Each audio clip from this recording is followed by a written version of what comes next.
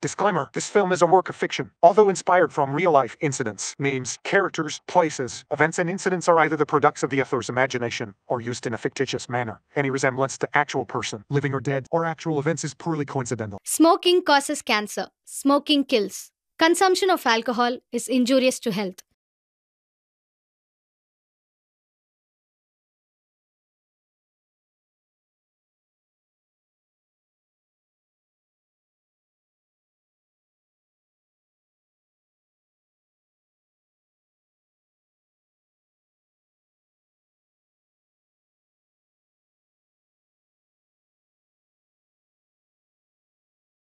Nandu?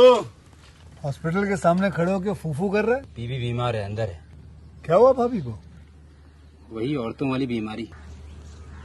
तो बोली बीमारी। खर्चा इतना सिगरेट कितने की दस रुपए की। दस रुपए की। और जेब में कितनी पड़ी? एक और है। मरने के लिए तेरे पास पैसे हैं लेकिन बीवी को मौत से बचाने के लिए पैसे नहीं क्या बक रहा है? ये देख मौत लिखी है इस पे मौत। और ये सैनिटरी पैड पे ज़िंदगी। क्या लगा? रोकी मर गया? सोने को बंद कर निकलने में तपना तो पड़ता ही है।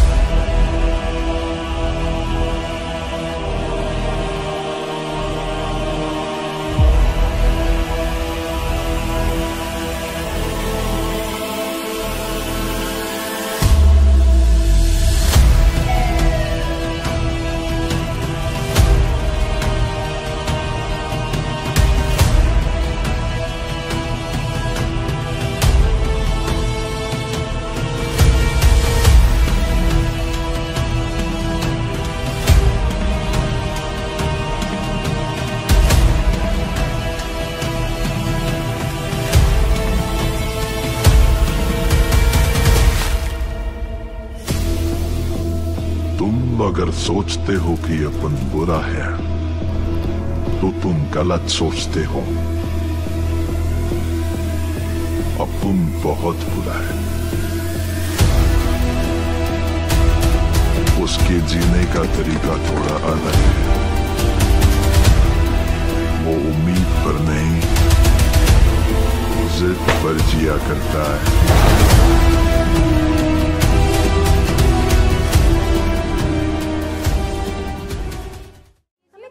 ऐसी फ़िल्म है जिसका इंतज़ार दुनिया के 90 परसेंट लोग कर रहे हैं। इसकी हाइप होने की वजह से ही इसके पहले पार्ट्स के राइट्स को करोड़ों में बेचा गया और खरीदा गया। क्योंकि ये एक एक्शन फ़िल्म है, राजनीतिक लड़ाई भी शामिल है, लेकिन कभी आपने सोचा है कि अगर इसके डायरेक्टर प्रशांत नील नहीं होते और करण जौहर होते तो फिर ये फ़िल्म कैसी होती? अब ये एक्शन नहीं, बल्कि रोमांटिक फ़िल्म बन जाती। जहाँ लड़ाई सोने की खदान को लेकर हुई, वहाँ लड़ाई तो होती, लेकिन लड़की को लेकर होती। क्योंकि करण जौहर रोमांटिक फ़िल्मों के लिए ही जाने जाते हैं, उसके लिए ही फ़ेमस है। और प्रशांत नील इसके अपोजिट एक्शन को स्क्रीन में उतारने के लिए माहिर है। लेकिन अब आप सोचें कि हमने इतने सारे डायरेक्टर में सिर्फ़ करण जौहर को ही क्यों चुना? तो जैसा कि हमने आपको पहले बताया कि प्रशांत नील एक्शन पर काफ़ी ज़ोर देते हैं। उनकी कहानी का जो बेस होता है, वो एक्शन सीन होता है। लेकिन अब हमारे करण जौहर की बात करें ना उनकी खुद की ज़िंदगी में तो प्यार और इश्क है नहीं, लेकिन वो सब कसर वो अपनी फ़िल्मों में ही पूरी कर लेते हैं। उनकी फ़िल्मों का बेस प्यार, इश्क, मोहब्बत होता है। किसी एक्शन फ़िल्म की कहानी को भी करण एक रोमांस का रूप दे सकते हैं। जैसे कि हम मान लेते हैं कि के जी थ्री को इस बार करण जौहर डायरेक्ट करेंगे। चलिए फिर करते हैं इन दोनों डायरेक्टर्स की अदला बदली कहानी डायलॉग किरदार, सब कुछ वही रहेंगे। बदलेगा तो सिर्फ़ और सिर्फ़ डायरेक्टर और उनका अंदाज। के जी थ्री में एक्शन सीन तो भाई नाम के होते, लड़ाई होती लेकिन प्यार की और प्यार के लिए। जैसे कुछ कुछ होता है, मैं सलमान और शाहरुख में काजोल को लेकर हुई थी। वो भी कोई लड़ाई थी क्या भला? इमोशनल ड्रामा था सिर्फ़। लड़ाई देख लिए तो फिर के देखो। तो अगर के जी को करण डायरेक्ट करते तो इसमें यश अधीरा को कहते कि, अधीरा कुछ कुछ होता है, तुम नहीं समझोगे। लेकिन इस पर अधीरा क्या कहते? सोचिए जरा। चलिए हम आपको बताते हैं कि इस पर अधीरा यश को क्या कहते? वो कहते ये लड़का, हाय अल्लाह, कैसा है दीवाना? कितना मुश्किल है तौबा इसको समझाना। तो सुनो, आपने ये फ़िल्म भी फनी हो सकती है। बस एक डायरेक्टर बदलने की ज़रूरत है। इसके बाद के जी एफ़ थ्री फिर एक्शन नहीं रोमांटिक थ्रिलर बन जाएगी। इसमें यश रोमांस ज़्यादा और एक्शन करते तो कम दिखाई देते। तो अब वापस के जी एफ़ थ्री पर आ जाते हैं, जिसे प्रशांत नील डायरेक्ट कर रहे हैं, जिसमें यश और संजय दत्त के साथ रवीना टंडन नज़र आने वाली है। तो आज की थोड़ी सी अलग और अजीब वीडियो आपको कैसी लगी, ये हमें कमेंट्स में ज़रूर बताइएगा। साथ ही वीडियो अच्छी लगी हो तो वीडियो को लाइक और शेयर करना मत भूलिएगा। आज के लिए बस इतना ही। मैं प्रगति मिलूँगी आपसे नेक्स्ट वीडियो में। सेफ़ रहिए मुस्कुराते रहिए। दुनिया और आज की लेटेस्ट न्यूज़ जुड़ी है बॉलीवुड की अपकमिंग फ़िल्म के जी एफ़ चैप्टर थ्री के साथ। तो दोस्तों, अंत तक जुड़े रहिए मेरे साथ। किसी भी अपराधी के लिए मौत की सजा सबसे डरावनी होती है। अब कई देशों में अपने कानूनों में बदलाव इस सजा पर प्रतिबंध लगा दिया है, लेकिन अमेरिका में आज भी इस सजा का प्रभावधान है। अमेरिका में अगर आपके टॉर्चर करने की वजह से किसी की मौत हो जाती है तो यहाँ के कानून के मुताबिक आपको मौत की सजा दी जाएगी। भले ही आपका इरादा सिर्फ़ किसी को परेशान करने का था, लेकिन उसकी मौत हो जाने पर आपके लिए मुसीबतें बढ़ जाएँगी और अमेरिका में इसे काफ़ी गंभीर जुर्म माना जाता है और इस अपराध की कीमत होती है आपकी जान। तो बता दें कि केजीएफ की फ्रेंचाइजी में भी रॉकी ने किसी तरह अमेरिका में घुसकर माइनिंग की थी, जिससे वो भी अमेरिका की नज़रों में दोषी बन गया था, जिसके लिए सिर्फ़ मौत की सजा मिली थी उन्हें। बता दें कि मेक्सिको में अवैध तरीके से रह गए थ्री वन प्रवासियों को वापस संदेश भेजा गया था कि रॉकी ने अमेरिका में बेहतर रोज़गार देने के लिए कुछ लोगों को मेक्सिको भी भेजा था। और रॉकी ने इस एजेंट को 20 से 30 लाख रुपए तक दिए थे। इससे पहले भी कई बार हज़ारों के साथ ऐसा किया था। लेकिन रॉकी प्रवासी और सोने को किस रास्ते में अमेरिका से सप्लाई करता होगा और लोग कैसे पहुँचते होंगे वहाँ? तो बता दें, भारत में अवैध तरीकों से अमेरिका पहुँचने के लिए भारत से दुबई दुबई से रूस रूस से इक्वाड इक्वाड से ग्वाटमेला ग्वाटमेला से मेक्सिको मेक्सिको से अवैध तरीके में अमेरिका से सीमा प्रवेश किया जाता है। और ऐसे ही फिर अमेरिका में माइनिंग करा के सोने को सेम रास्ते से दुबई और दुबई से अलग अलग कंट्री में भेजा जाता है। क्योंकि आपने के जी एफ़ टू देखी है तो उसमें रॉकी दुबई में इनायत अली खान से एक डील करते हैं, जहाँ जिसके बदले उसे काफ़ी ढेर सारी मशीन गन्स बदले में मिलती हैं। और उस डील में यही था कि जितना भी सोना वहाँ आएगा, सब इनायत खलील के नाम पर आएगा। और जिसके बदले में रॉकी को इनायत और दुबई का सपोर्ट मिला, और बिना कुछ किए सारे प्रॉफिट का 75 परसेंट तो के जी में इनायत खलील रॉकी के सपोर्ट में काम करता नज़र आएगा। जो रॉकी के बिज़नेस को अपने रिस्क पर दूसरी कंट्रीज़ पर पहुंचाएगा तो आपको क्या लगता है, क्या रॉकी को अंदेशा था कि भारत की केजीएफ माइन से तो उसकी छुट्टी होने वाली है? इसलिए उसने अपना बिज़नेस दूसरी कंट्रीज़ में पहले ही स्टैब्लिश कर लिया। अपनी राय हमें कमेंट सेक्शन पर ज़रूर बताएँ। हम फिर मिलेंगे एक नई वीडियो और नए कंटेंट के साथ। तब तक के लिए खुश रहे सेफ़ रहे, बने रहे मेरे साथ। और हम जाते जाते इस वीडियो को लाइक और चैनल को सब्सक्राइब करना ना भूलिएगा।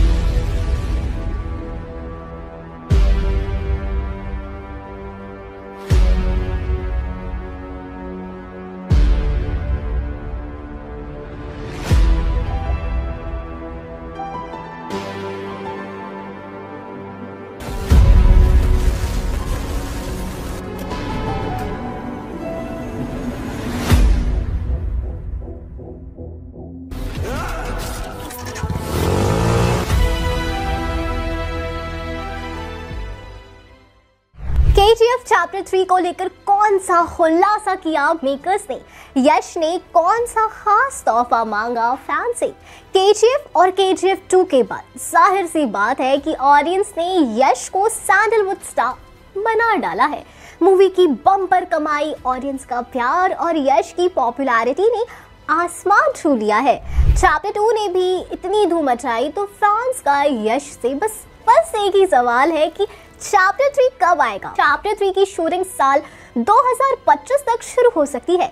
जैसे कि मूवी के डायरेक्टर प्रशांत नील अभी प्रभास के साथ सालार मूवी पर काम कर रहे हैं तो वो इस साल सितंबर तक पूरा हो सकता है।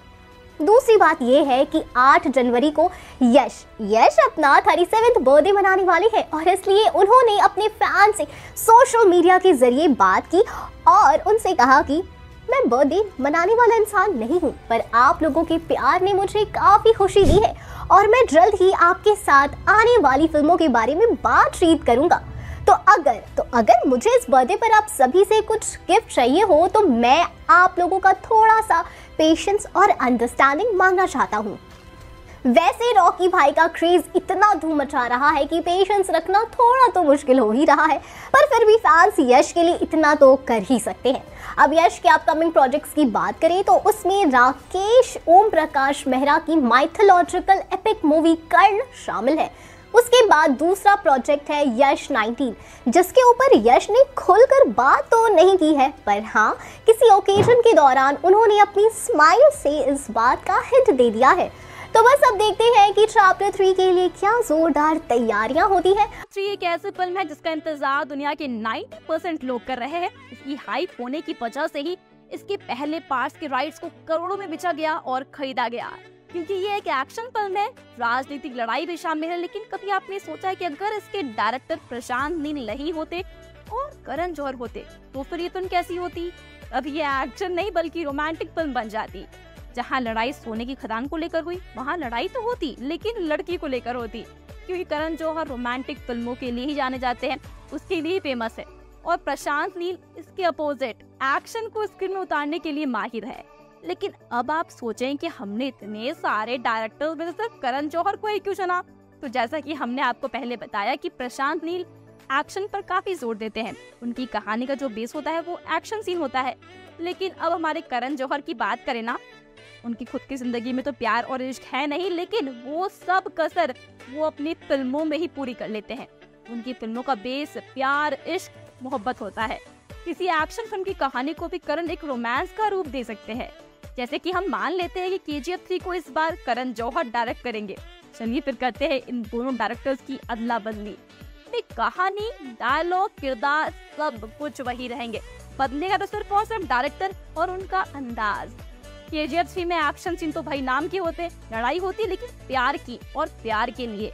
जैसे कुछ कुछ होता है, मैं सलमान और शाहरुख में काजोल को लेकर हुई थी, वो भी कोई लड़ाई थी क्या भला? इमोशनल ड्रामा था सिर्फ़। लड़ाई देख लिए तो फिर के देखो। तो अगर के जी को करण डायरेक्ट करते तो इसमें यश अधीरा को कहते कि, अधीरा कुछ कुछ होता है, तुम नहीं समझोगे। लेकिन इस पर अधीरा क्या कहते? सोचिए जरा। चलिए हम आपको बताते हैं कि इस पर अधीरा यश को क्या कहते वो कहते, ये लड़का, हाय अल्लाह, कैसा है दीवाना? कितना मुश्किल है तौबा इसको समझाना। तो सुना, आपने ये फ़िल्म भी फनी हो सकती है। बस एक डायरेक्टर बदलने की ज़रूरत है। इसके बाद के जी एफ़ थ्री फिर एक्शन नहीं, रोमांटिक थ्रिलर बन जाएगी। इसमें यश, रोमांस ज़्यादा और एक्शन करते तो कम दिखाई देते। तो अब वापस के जी एफ़ थ्री पर आ जाते हैं, जिसे प्रशांत नील डायरेक्ट कर रहे हैं, जिसमें यश और संजय दत्त के साथ रवीना टंडन नज़र आने वाली है। तो आज की थोड़ी सी अलग और अजीब वीडियो आपको कैसी लगी, ये हमें कमेंट्स में ज़रूर बताइएगा। साथ ही वीडियो अच्छी लगी हो तो वीडियो को लाइक और शेयर करना मत भूलिएगा। आज के लिए बस इतना ही। मैं प्रगति मिलूँगी आपसे नेक्स्ट वीडियो में। सेफ़ रहिए मुस्कुराते रहिए। दोस्तों, अमेरिका में माफिया का उदय गिरोह के ज़रिए अपराध तब शुरू हुआ जब इटली के कुछ गैंगस्टरों ने न्यूयॉर्क पहुंचकर एक गैंग बनाई और फिर वहाँ से शुरू हुआ माफिया गैंग। गैंग वॉर और अपराध की वो कहानी जिसकी आग में वर्षों तक अमेरिका झुलसता रहा। दोस्तों, इन गिरोहों का कोई leader, bosses of all boss कहलाया तो किसी को पब्लिक एनिमी नंबर वन कहा गया। इनके खूनी वारदात से शहर हमेशा थर्राता ही रहा इसे मुख्य तौर पर अल कपोन के नाम से जाना जाता है। न्यूयॉर्क के ब्रुकलिन में जन्मे कपोन ईयर 1925 से लेकर 1931 के बीच शिकागो का सबसे बड़ा डॉन यानी कि माफिया था। कपोन अपनी जवानी के दिनों में जेम्स स्ट्रीट बॉयज़ गिरोह में शामिल हो गया था, जहाँ उसकी मुलाकात जॉनी टोरियो से हुई। यही जॉनी बाद में अपराध जगत में उसका गुरु बना था। दोस्तों, जॉनी के साथ मिलकर कपोन शिकागो में अब शराब का धंधा करने लगा था। इस गैंग का मुख्य काम शराब का धंधा ही था।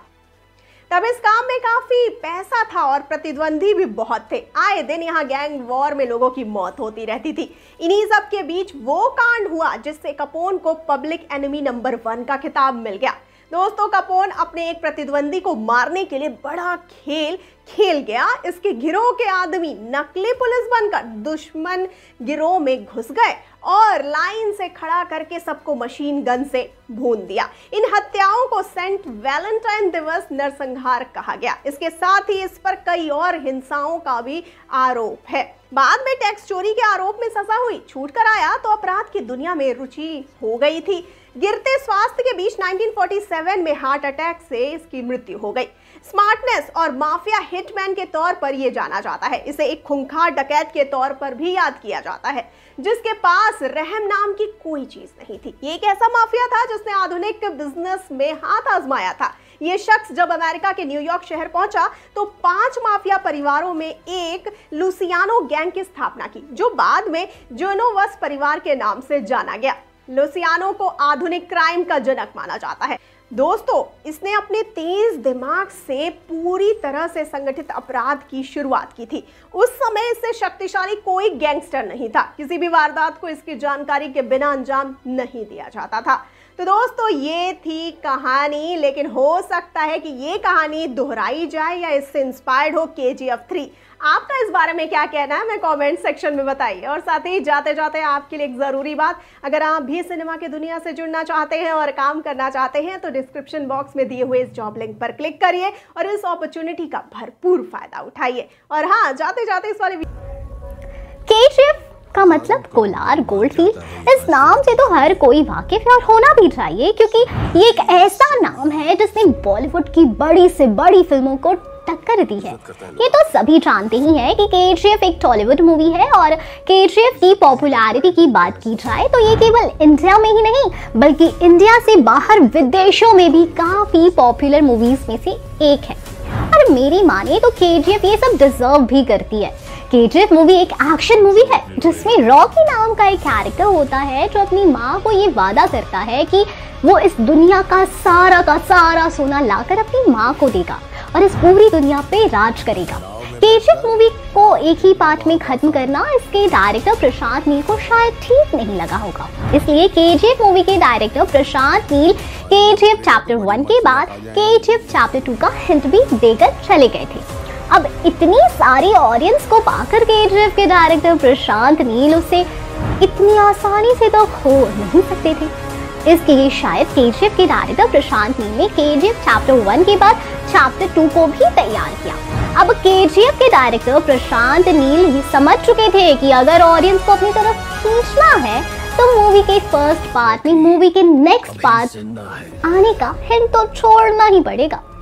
ऑडियंस खुद ब खुद थिएटर की ओर खींची चली जाएगी ऐसे में। और ऐसा लगा मानो केजीएफ के डायरेक्टर प्रशांत नील का ये आइडिया काम भी कर गया। केजीएफ के डायरेक्टर प्रशांत नील ने केजीएफ चैप्टर वन में केजीएफ चैप्टर टू का हिंट छोड़ा। जिस कारण जनता के जी एफ़ चैप्टर टू देखने के लिए काफ़ी एक्साइटेड थी।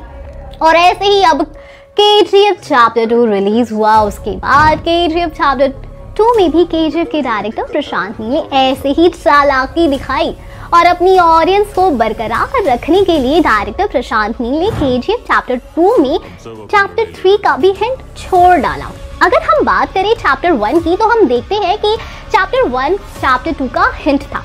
तो हम ये बात मान सकते थे कि के जी टू में रॉकी का क्या रोल हो सकता था? या रॉकी किस तरह से पूरी KGF अपने नाम कर सकता है? ऐसे बहुत सी बातें हम चैप्टर वन के बाद चैप्टर टू के लिए एक्सपेक्ट करते थे। और केजीएफ चैप्टर टू की कहानी भी इसी तरह की रही। और जनता ने चैप्टर टू को जब देखा, तब उनके मन में ये सवालों की पटरी पर उन्होंने ब्रेक लगा दिया। लेकिन के के डायरेक्टर प्रशांत नील को शायद ये बात कुछ हजम नहीं हुई और उन्होंने के जी एफ़ टू के एंड में K G F chapter three का हिंट दे दिया।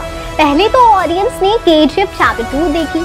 तब सभी की आँखों में कहीं ना कहीं थोड़ी सी नाराज़गी और मन में एक ये सवाल भी उठा था आखिर रॉकी इतनी जल्दी कैसे मर सकता है? अगर रॉकी मर गया तो केजीएफ के सिर्फ़ दो ही पार्ट थे। क्या रॉकी ने अपनी माँ से किया वादा, अधूरा छोड़ दिया? ऐसे अनेकों सवाल जब जनता के मन में चल रहे थे, उसी टाइम उसी टाइम रॉकी को पानी में डूबता हुआ दिखाने के बाद ये सीन दिखाया जाता है कि के का चैप्टर थ्री भी आएगा। अब जनता की आँखों में खुशी तो थी, लेकिन जैसे के जी एफ़ वन में के जी एफ़ टू के लिए जनता के मन में सवालों के बौछार थे, ठीक उसी तरह चैप्टर टू में अब चैप्टर थ्री के लिए जनता के मन में सवाल रह गए थे। सवाल ये थे कि क्या हो सकती है के की आगे की कहानी? आज हम आपके इन्हीं सवालों को दूर करेंगे। के मूवी होम बाले मूवी के द्वारा तैयार की गई थी। पहले होम बाले मूवी एक स्मॉल मूवी इंडस्ट्री हुआ करती थी, लेकिन कहते हैं ना, दिन पलटते पता नहीं चलता। ऐसा ही कुछ होम बाले मूवी इंडस्ट्री के साथ भी हुआ। जब से होम वाले मूवी के अंतर्गत केजीएफ बनी तब से मानो होम वाले मूवी की तो देश दुनिया ही बदल गई। हम आपको बता दें एक टाइम ऐसा था कि केजीएफ मूवी को बनाने के लिए होम वाले मूवी इंडस्ट्री ने केजीएफ में लगने वाली कुल लागत मीन्स टोटल जितना केजीएफ को बनाने में खर्चा आया था उसका 90 प्रतिशत होम वाली मूवी ने लोन लिया था। केजीएफ के बाद होम वाले मूवी के तो मानो दिन पलट से गए। आज होम वाले मूवी इंडस्ट्री के पास इतना पैसा है कि वो साल 2023 में लगभग तीन फ़िल्मों को आसानी से बना सकती है। केजीएफ मूवी तो मानो होम वाले मूवी इंडस्ट्री के लिए हॉलीवुड का वो ताला हो गई जैसे मानो होम वाले मूवी के सामने मानो सोने की खान का रास्ता खुल गया। अब होम वाले मूवी के अंदर सालार बगीरा पुष्पा बाहुबली और भी अन्य फ़िल्में बन रही हैं। सूत्रों की माने तो अब ये खबर मिली है कि होम वाली मूवी हॉलीवुड के साथ कोलैबोरेट कर सकती है। अगर हम बात करें के जी थ्री की तो ऐसा माना जा रहा है कि चैप्टर थ्री के डायरेक्टर यानी प्रशांत नील के जीएफ को पैन मूवी बना रहे हैं और प्रशांत नील का ये कहना है कि केजीएफ केवल कुछ हिस्सों में बंटकर दिखाई जाने वाली मूवी नहीं है। ये तो एक पूरा यूनिवर्स होने वाला है और इसमें केवल केजीएफ ही नहीं, बल्कि सालार वगैरह जैसी मूवीज़ भी इस यूनिवर्स का एक अहम हिस्सा होगी। अगर हम बात करें के जी एफ़ थ्री की कहानी की तो हम आपको बता दें कि के जी एफ़ थ्री की कहानी अब की बार कुछ हटके होने वाली है। ऐसा हम नहीं, बल्कि के जी एफ़ थ्री के लीड एक्टर यश का कहना है। एक इंटरव्यू में उन्होंने कहा कि चैप्टर थ्री की कहानी अब की बार बहुत ही ज़बरदस्त होने वाली है। चैप्टर थ्री के लीड एक्टर यश यानी नवीन कुमार गौड़ा का कहना है कि के टू में ऐसा बहुत से सीन रॉकी की लाइफ के रह गए थे जिन्हें वो ना तो चैप्टर वन में दिखा पाए और ना ही चैप्टर टू में दिखा पाए। लेकिन अब की बार के चैप्टर थ्री में आपको ये सब देखने को मिलने वाला है। वहीं चैप्टर थ्री के लिए लीड एक्टर यश यानी वही नवीन कुमार गौड़ा का यही कहना है कि चैप्टर थ्री की आगे की कहानी के बारे में वो और केजीएफ के चैप्टर थ्री के डायरेक्टर प्रशांत नील और चैप्टर थ्री की पूरी टीम मिलकर मूवी के अगले पार्ट यानी चैप्टर थ्री में क्या क्या दिखाया जाएगा, इसके बारे में डिस्कशन कर रहे हैं। वहीं दूसरी ओर हम वाले मूवी के ओनर एस विजय ने भी ये जानकारी दी कि जल्द ही के जी थ्री की शूटिंग स्टार्ट हो जाएगी, लेकिन उससे पहले वो सालार बगीरा को रिलीज़ करेंगे। सूत्रों की माने तो चैप्टर थ्री के एंड में रॉकी को ज़िंदा दिखाया जाएगा। ऐसा माना जा रहा है कि चैप्टर थ्री में उस आदमी का खुलासा भी हो सकता है जो केजीएफ के रॉकी को केजीएफ चैप्टर वन और चैप्टर टू दोनों में ही मॉन्स्टर बताता है और केजीएफ मूवी में पत्रकार आनंद इंगल दोनों ही पास, यानी चैप्टर वन और चैप्टर टू दोनों में ही एक आदमी से बात करते हैं और वही आदमी केजीएफ के रॉकी भाई का किस्सा उन्हें सुनाता है। वो आदमी आनंद से कहता है कि रॉकी कोई गैंगस्टर नहीं बल्कि वो तो मॉन्स्टर है। और अगर हम चैप्टर वन और चैप्टर टू की बात करें तो इन दोनों में ही चैप्टर्स वन के जी के डायरेक्टर प्रशांत नील ने इस कैरेक्टर को एक्सप्लोर नहीं किया है और ना इस कैरेक्टर के बारे में प्रशांत नील ने ये बताया है कि वो आदमी कौन होगा। और वो ये सब कैसे जानता है? ऐसा माना जा रहा है कि शायद चैप्टर थ्री में प्रशांत ही इस आदमी के बारे में कुछ दिखाएँगे और इस आदमी की सच्चाई का खुलासा किया जा सकता है। हम आपको बता दें कि के जी एफ़ चैप्टर थ्री साल 2025 तक रिलीज़ हो सकती है। क्या आपको इंतज़ार रहेगा चैप्टर थ्री का? हमें कमेंट सेक्शन में ज़रूर बताएँ। हम फिर मिलेंगे एक नई वीडियो के साथ। तो क्या होगी के जी एफ़ थ्री की कहानी? कब आएगी के जी एफ़ थ्री कौन सा होगा नया रोल एड साल 2022 में, अप्रैल में अभिनेता यश की K G F chapter two release हुई थी, जिसने बॉक्स ऑफ़िस पर धमाल मचा दिया था। जिसके बाद होमले फ़िल्म के निर्माता विजय ने एक घोषणा की थी। जैसा कि के जी एफ़ फ़िल्म का तीसरा पार्ट बनाने की घोषणा की जा चुकी है के जी एफ़ चैप्टर थ्री को लेकर डायरेक्टर विजय ने कहा है कि के चैप्टर थ्री फ़िल्म को, जो कि रोस्टर का हिस्सा था, उन्होंने आगे कहा था कि इस फ़िल्म को साल 2022 के अक्टूबर या नवंबर की शुरुआत में सिनेमाघरों में लाने की सोच रहे थे। बताया जा रहा है कि इस फ़िल्म के लिए यश ने अपने के लुक को नहीं बदला है। वो आज भी लंबे बाल और दाढ़ी के साथ ही नज़र आते हैं। कहानी के अंतिम चैप्टर को देखने के बाद फैंस ने अनुमान लगाया था कि अभिनेता इस फ़िल्म की थर्ड सीरीज़ लेकर भी आ सकते हैं। अब विजय ने खुलासा कर दिया है कि के चैप्टर थ्री आखिर कब रिलीज़ हो सकती है।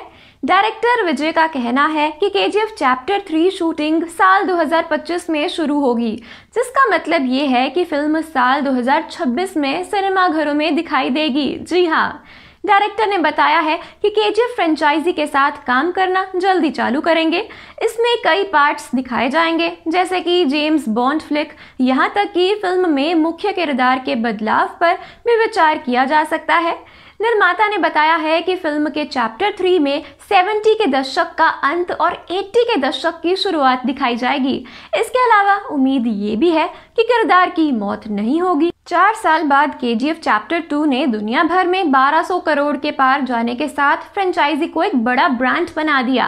दर्शकों के इतने प्यार के साथ यश के अलावा किसी और को रॉकी का किरदार निभाने की कल्पना करना मुश्किल है। लेकिन विजय ने इसे लेकर एक चौंकाने वाला बयान दिया है। विजय ने खुलासा किया है कि के चैप्टर थ्री के लिए प्री प्रोडक्शन का काम अभी शुरू नहीं हुआ है।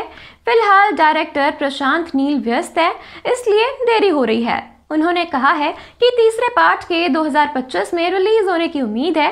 इतना ही नहीं, ये भी बताया है कि के को पाँच पार्ट्स में बनाने की तैयारी है। ये भी संभव है कि के जी पाँचवें पार्ट से भी आगे चले। कहा यह भी जा रहा है कि फिफ्थ पार्ट के बाद रॉकी भाई के रूप में आप किसी और को देख सकते हैं। उन्होंने कहा के जी फ्रेंचाइजी में संभव है कि पाँचवें पार्ट के बाद कोई और हीरो रॉकी भाई का रोल प्ले करे।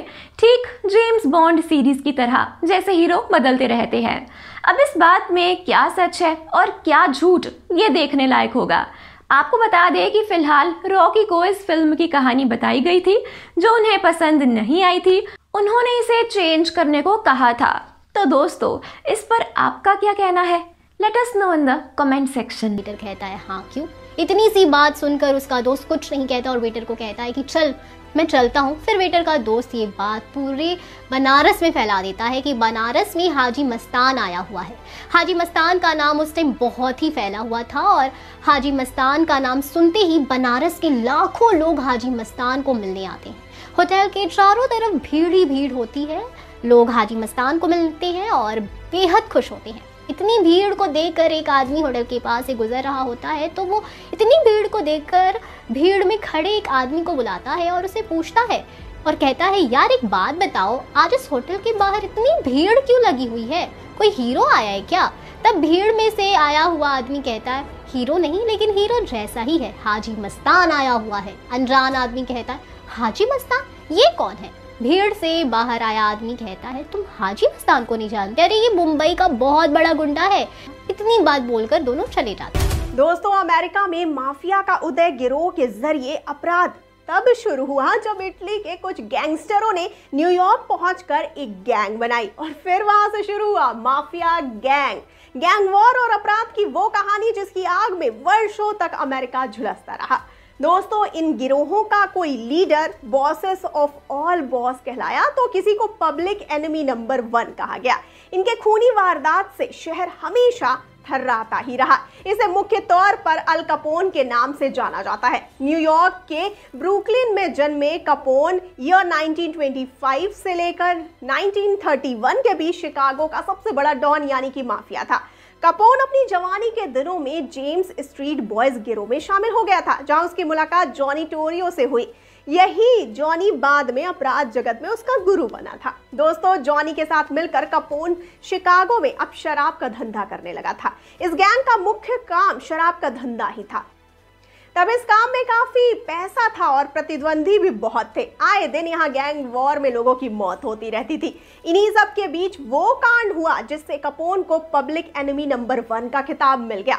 दोस्तों कपोन अपने एक प्रतिद्वंदी को मारने के लिए बड़ा खेल खेल गया। इसके गिरोह के आदमी नकली पुलिस बनकर दुश्मन गिरोह में घुस गए और लाइन से खड़ा करके सबको मशीन गन से भून दिया। इन हत्याओं को सेंट वैलेंटाइन दिवस नरसंहार कहा गया। इसके साथ ही इस पर कई और हिंसाओं का भी आरोप है। बाद में टैक्स चोरी के आरोप में सजा हुई। छूट कर आया तो अपराध की दुनिया में रुचि हो गई थी। गिरते स्वास्थ्य के बीच 1947 में हार्ट अटैक से इसकी मृत्यु हो गई। स्मार्टनेस और माफिया हिटमैन के तौर पर यह जाना जाता है। इसे एक खुंखार डकैत के तौर पर भी याद किया जाता है, जिसके पास रहम नाम की कोई चीज़ नहीं थी। ये एक ऐसा माफिया था जिसने आधुनिक बिज़नेस में हाथ आजमाया था। ये शख्स जब अमेरिका के न्यूयॉर्क शहर पहुँचा तो पाँच माफिया परिवारों में एक लुसियानो गैंग की स्थापना की, जो बाद में जोनोवस परिवार के नाम से जाना गया। लुसियानो को आधुनिक क्राइम का जनक माना जाता है। दोस्तों, इसने अपने तेज दिमाग से पूरी तरह से संगठित अपराध की शुरुआत की थी। उस समय इससे शक्तिशाली कोई गैंगस्टर नहीं था। किसी भी वारदात को इसकी जानकारी के बिना अंजाम नहीं दिया जाता था। तो दोस्तों, ये थी कहानी, लेकिन हो सकता है कि ये कहानी दोहराई जाए या इससे इंस्पायर्ड हो के जी एफ़ थ्री। आपका इस बारे में क्या कहना है? मैं कमेंट सेक्शन में बताइए। और साथ ही जाते जाते आपके लिए एक ज़रूरी बात, अगर आप भी सिनेमा की दुनिया से जुड़ना चाहते हैं और काम करना चाहते हैं तो डिस्क्रिप्शन बॉक्स में दिए हुए इस जॉब लिंक पर क्लिक करिए और इस अपॉर्चुनिटी का भरपूर फ़ायदा उठाइए। और हाँ जाते जाते इस वाले वीडियो को का माफिया था, जिसने टोटोरिना को ऑर्डर्स दिए कि वो कार्लियन के माफिया फैमिली के हेड माइकल नवारा को जान से मार दे। टोटोरिना लेगियो के ऑर्डर्स मान लेता है और उसे मार डालता है। नवारा की डेथ के बाद लेगियो 1958 में क्राइम फैमिली का नया बॉस बन जाता है। वो अपनी गैंग में टोटोरिना और भी ना जाने कितने मेंबर्स को अपने आदमियों के तौर पर रख लेता है और इसी के चलते ये सभी लोग माइकल नवारा के मर्डर में शामिल थे। जब पुलिस ने माइकल नवारा के केस की छानबीन करनी शुरू की, तब टोटोरिना, लेगियो और प्रोवेंजो के खिलाफ अरेस्ट वारंट निकाले गए, जिसके बाद ये तीनों 1960 की शुरुआत में कंट्री छोड़कर भागने पर मजबूर हो जाते हैं। तो कुछ ऐसी ही कहानी हो सकती है फ़िल्म के जी एफ़ थ्री की। कोई ना कोई खतरा मंडराता रहता है, कोई ना कोई जान के पीछे पड़ा रहता है। अब आप सोच रहे होंगे कि मैं आपसे ये कहानी क्यों दोहरा रही हूँ? तो दरअसल बात यह है कि के के मेकर्स वापस से हमारे लिए के का एक सीक्वल लेकर आने वाले हैं। जी हाँ दोस्तों, तैयार हो जाइए रॉकी के सफ़र से फिर से जुड़ने के लिए। और इसी के साथ साथ इस कहानी में ऐसा दिखाया जा सकता है कि रॉकी एक बहुत ही गरीब बच्चा है जिसका जन्म एक नाबालिग लड़की के कोख से हुआ है। ये लड़की इसे जन्म देते ही छोड़ देती है और बचपन से ही ये अकेला रहता है। काफ़ी सारी कठिनाइयों का सामना करते हुए अपना जीवन जीता है। इसकी माँ की मौत इसे बेखौफ बना देती है और अपनी जीवन के हर कठिनाई का सामना करते हुए रॉकी अपनी लड़ाई में, अपनी जीवन की लड़ाई में, अपनी जीत का परचम लहराता है। इसी के साथ ऐसा भी दिखाया जा सकता है, जैसा कि आपने मूवी में देखा कि रॉकी अपना पैसा तो काले तरीके से कमाता है, लेकिन वो अपने लोगों से बहुत प्यार करता है, उनके लिए बहुत कुछ करता है। तो इसी तरीके से जब रॉकी छोटा था तो वो मजदूरी का काम करता था। एक दिन काम करते करते वो एक शिव मंदिर में पहुँच जाता है और वहाँ पर उसे एक आदमी अपना यूनियन ज्वाइन करने का ऑफ़र देता है। अब ये यूनियन भरा होता है, बहुत ही सारे शहर के नामी गिरामी लोगों से, पैसे वाले लोग, काफ़ी ज़्यादा पहुँच वाले लोग। रॉकी इस ऑर्गेनाइजेशन को ज्वाइन कर लेता है, लेकिन उसकी कठिनाइयाँ बढ़ती ही जाती हैं। एक बार शहर में दंगे फैलते हैं और इसमें रॉकी बहुत ही अहम किरदार निभाता है, जिसमें वो इस लड़ाई में शामिल होता है और कठिनाइयों के साथ जीत कर, उभर कर बाहर आता है, जिसके बाद इस यूनियन की बहुत बड़ी ताकत रॉकी होता है और रॉकी ही इस यूनियन को चलाता है। अब जैसे कि मैंने आपसे कहा कि रॉकी अपने लोगों के लिए बहुत प्यार रखता है तो वो अपने लोगों के बच्चों के लिए एक स्कूल ओपन करता है और यहाँ तक कि गरीब लोगों के बच्चे भी उस स्कूल में पढ़ सकते हैं, वो भी बिना किसी फ़ीस के।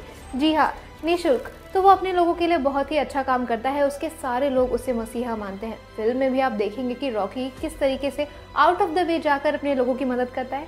ये रॉकी भी कुछ इसी प्रकार का है और अपने लोगों के लिए अपनी जान भी दे सकता है। अब मूवी में आपने देखा कि रॉकी की तो मौत हो गई, वो इस दुनिया को छोड़कर चला गया, लेकिन उसके लोग आज भी उसे मसीहा मानते हैं।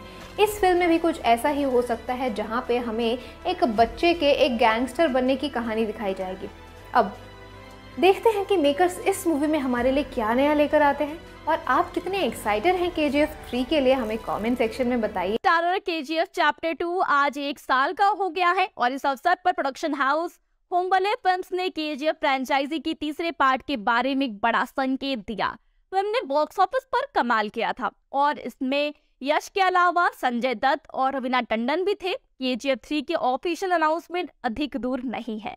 लेकिन इससे भी दिलचस्प बात यह है कि फैंस प्रभास की सालार के साथ क्रॉसओवर की अटकलें लगा रहे हैं और प्रभास का सालार में कैरेक्टर नेम भी रिवील हो गया है।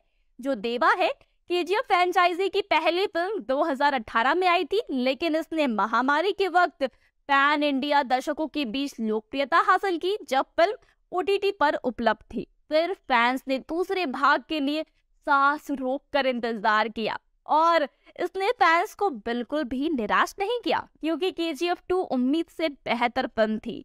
ट्विटर पर होम बले फिल्म्स ने K G F chapter two के एक साल पूरे होने का जश्न मनाया और के जी एफ़ थ्री के बारे में एक बड़ा खुलासा किया। दोस्तों, होम बले फ़िल्मों के पोस्टर के साथ एक छोटा वीडियो क्लिप साझा किया गया, जिसमें एक बड़ा सवाल था 1978 से 1981 तक रॉकी कहाँ था? वहाँ पोस्ट में लिखा था, सबसे शक्तिशाली आदमी के जी एफ़ टू की अमेज कैरेक्टर्स और एक्शन के साथ एक यात्रा पर ले गया, जिसमें सिनेमा का एक इंटरनेशनल फेस्टिवल मानना रिकॉर्ड तोड़ना और दिल जीतना शामिल रहा।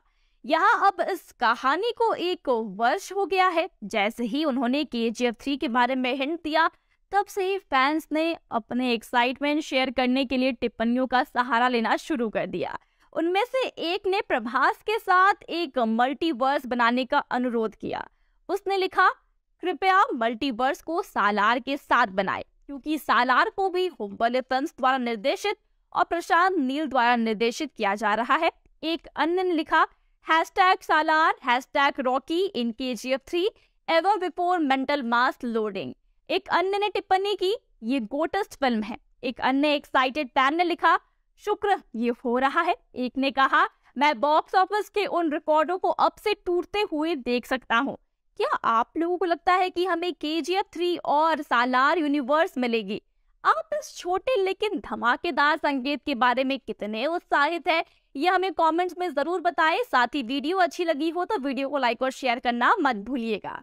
आज के लिए बस इतना ही। मैं प्रगति मिलूँगी आपसे नेक्स्ट वीडियो में। सेफ़ रहिए, मुस्कुराते रहिए। बाय अंत में रॉकी की टीम को पकड़ लिया गया और उन पर मुकदमा चलाया गया। उन्हें सोने की तस्करी का दोषी ठहराया गया और लंबी जेल की सजा सुनाई गई। और इलीगल हथियार से लेकर गोल्ड तक किसी भी चीज़ को रॉकी सीमा पार करा सकता था। रॉकी सालों से इस व्यवसाय में है और उसने बहुत पैसा कमाया है। लेकिन उसे हमेशा सावधान रहना पड़ता है, लेकिन उसे पकड़े जाने का बिल्कुल डर भी नहीं है। पिछले कुछ वर्षों में उनके पास कई करीबी कॉल आए, जिससे उसे एहसास हुआ कि वो पकड़ा जा सकता है। एक संपर्क से एक गुप्त सूचना मिली कि गोल्ड की एक खेप जो पुलिस द्वारा रोकी जाने वाली है। रॉकी जानता था कि इससे उसके करियर का अंत हो सकता है। इसलिए उसने कठोर कदम उठाने का फैसला लिया। ऐसे ही दूसरे देशों में गोल्ड की स्मगलिंग होती गई, ऐसी ही कहानी के जी एफ़ थ्री में हो सकती है। आपको इस बारे में क्या कहना क्या बाहुबली एक्टर की हुई एंट्री हेलो फ्रेंड्स आप देख रहे हैं बॉलीग्राफ स्टूडियोज मैं सोनिका जयाल।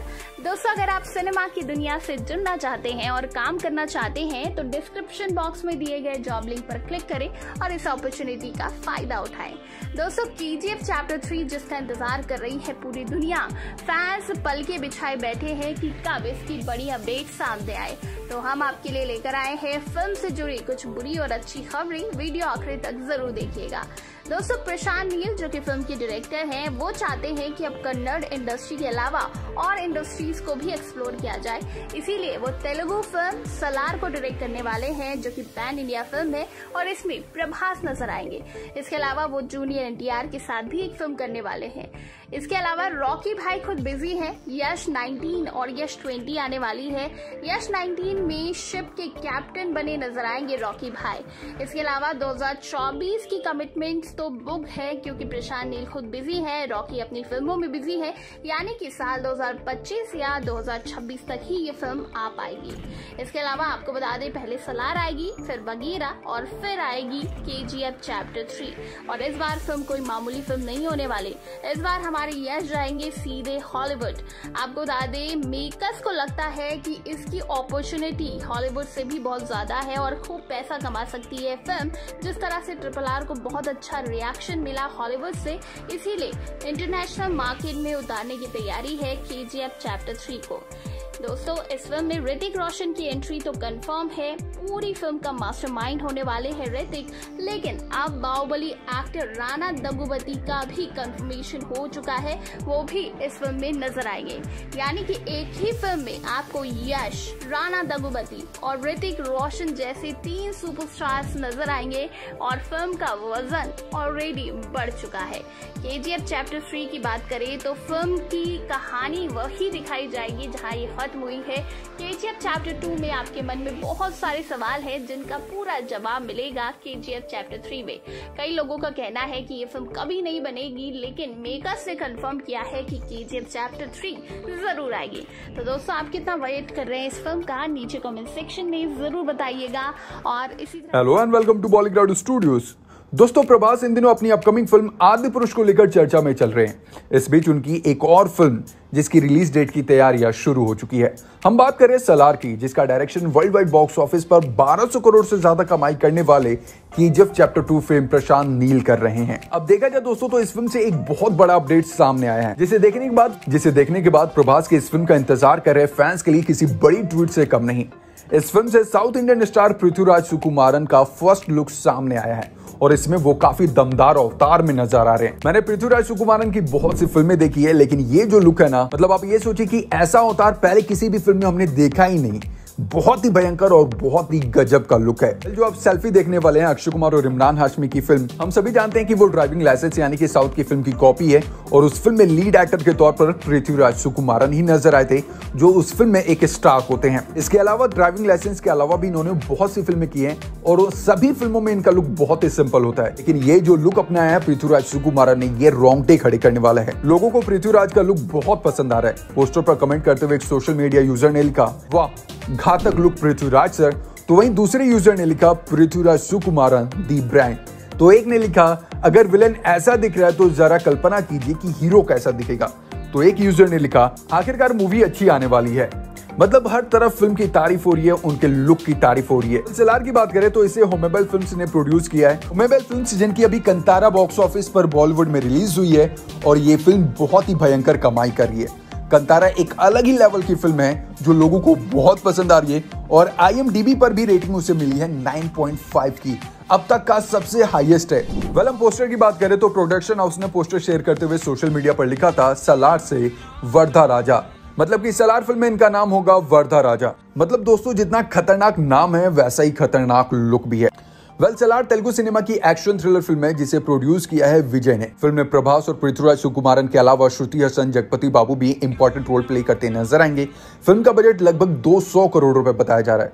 कन्नड़ फ़िल्मों के दिग्गज डायरेक्टर प्रशांत नील की ये पहली तेलुगु फ़िल्म है, जिसे हिंदी और कन्नड़ में भी रिलीज़ किया जाएगा। खास बात यह कि इसे भी केजीएफ के लेवल पर ही बनाया जाएगा। मतलब कि जिस तरह से केजीएफ सीरीज़ में यश को बहुत ही ज़्यादा वायलेंट दिखाया गया था, इस फ़िल्म में प्रभास भी, यानी कि सलार के रोल में जो नज़र आने वाले इसमें भी उनका रोल ऐसा ही वायलेंट होगा। खबरें हैं कि ये फ़िल्म 28 सितंबर 2023 को सिनेमाघरों में रिलीज़ होने वाली है।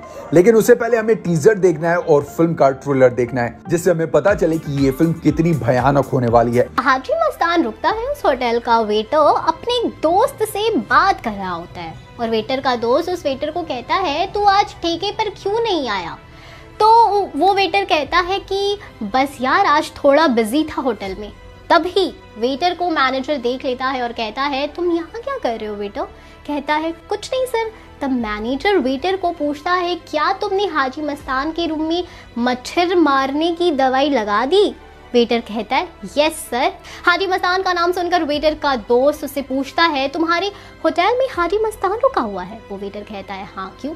इतनी सी बात सुनकर उसका दोस्त कुछ नहीं कहता और वेटर को कहता है कि, चल मैं चलता हूँ। फिर वेटर का दोस्त ये बात पूरे बनारस में फैला देता है कि बनारस में हाजी मस्तान आया हुआ है।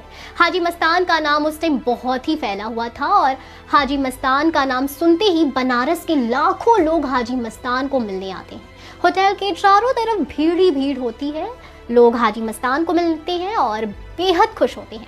इतनी भीड़ को देखकर एक आदमी होटल के पास से गुजर रहा होता है तो वो इतनी भीड़ को देखकर भीड़ में खड़े एक आदमी को बुलाता है और उसे पूछता है और कहता है, यार, एक बात बताओ, आज इस होटल के बाहर इतनी भीड़ क्यों लगी हुई है? कोई हीरो आया है क्या? तब भीड़ में से आया हुआ आदमी कहता है, हीरो नहीं, लेकिन हीरो जैसा ही है, हाजी मस्तान आया हुआ है। अनजान आदमी कहता है, हाजी मस्तान, ये कौन है? भीड़ से बाहर आया आदमी कहता है, तुम हाजी मस्तान को नहीं जानते? अरे, ये मुंबई का बहुत बड़ा गुंडा है। इतनी बात बोलकर दोनों चले जाते हैं।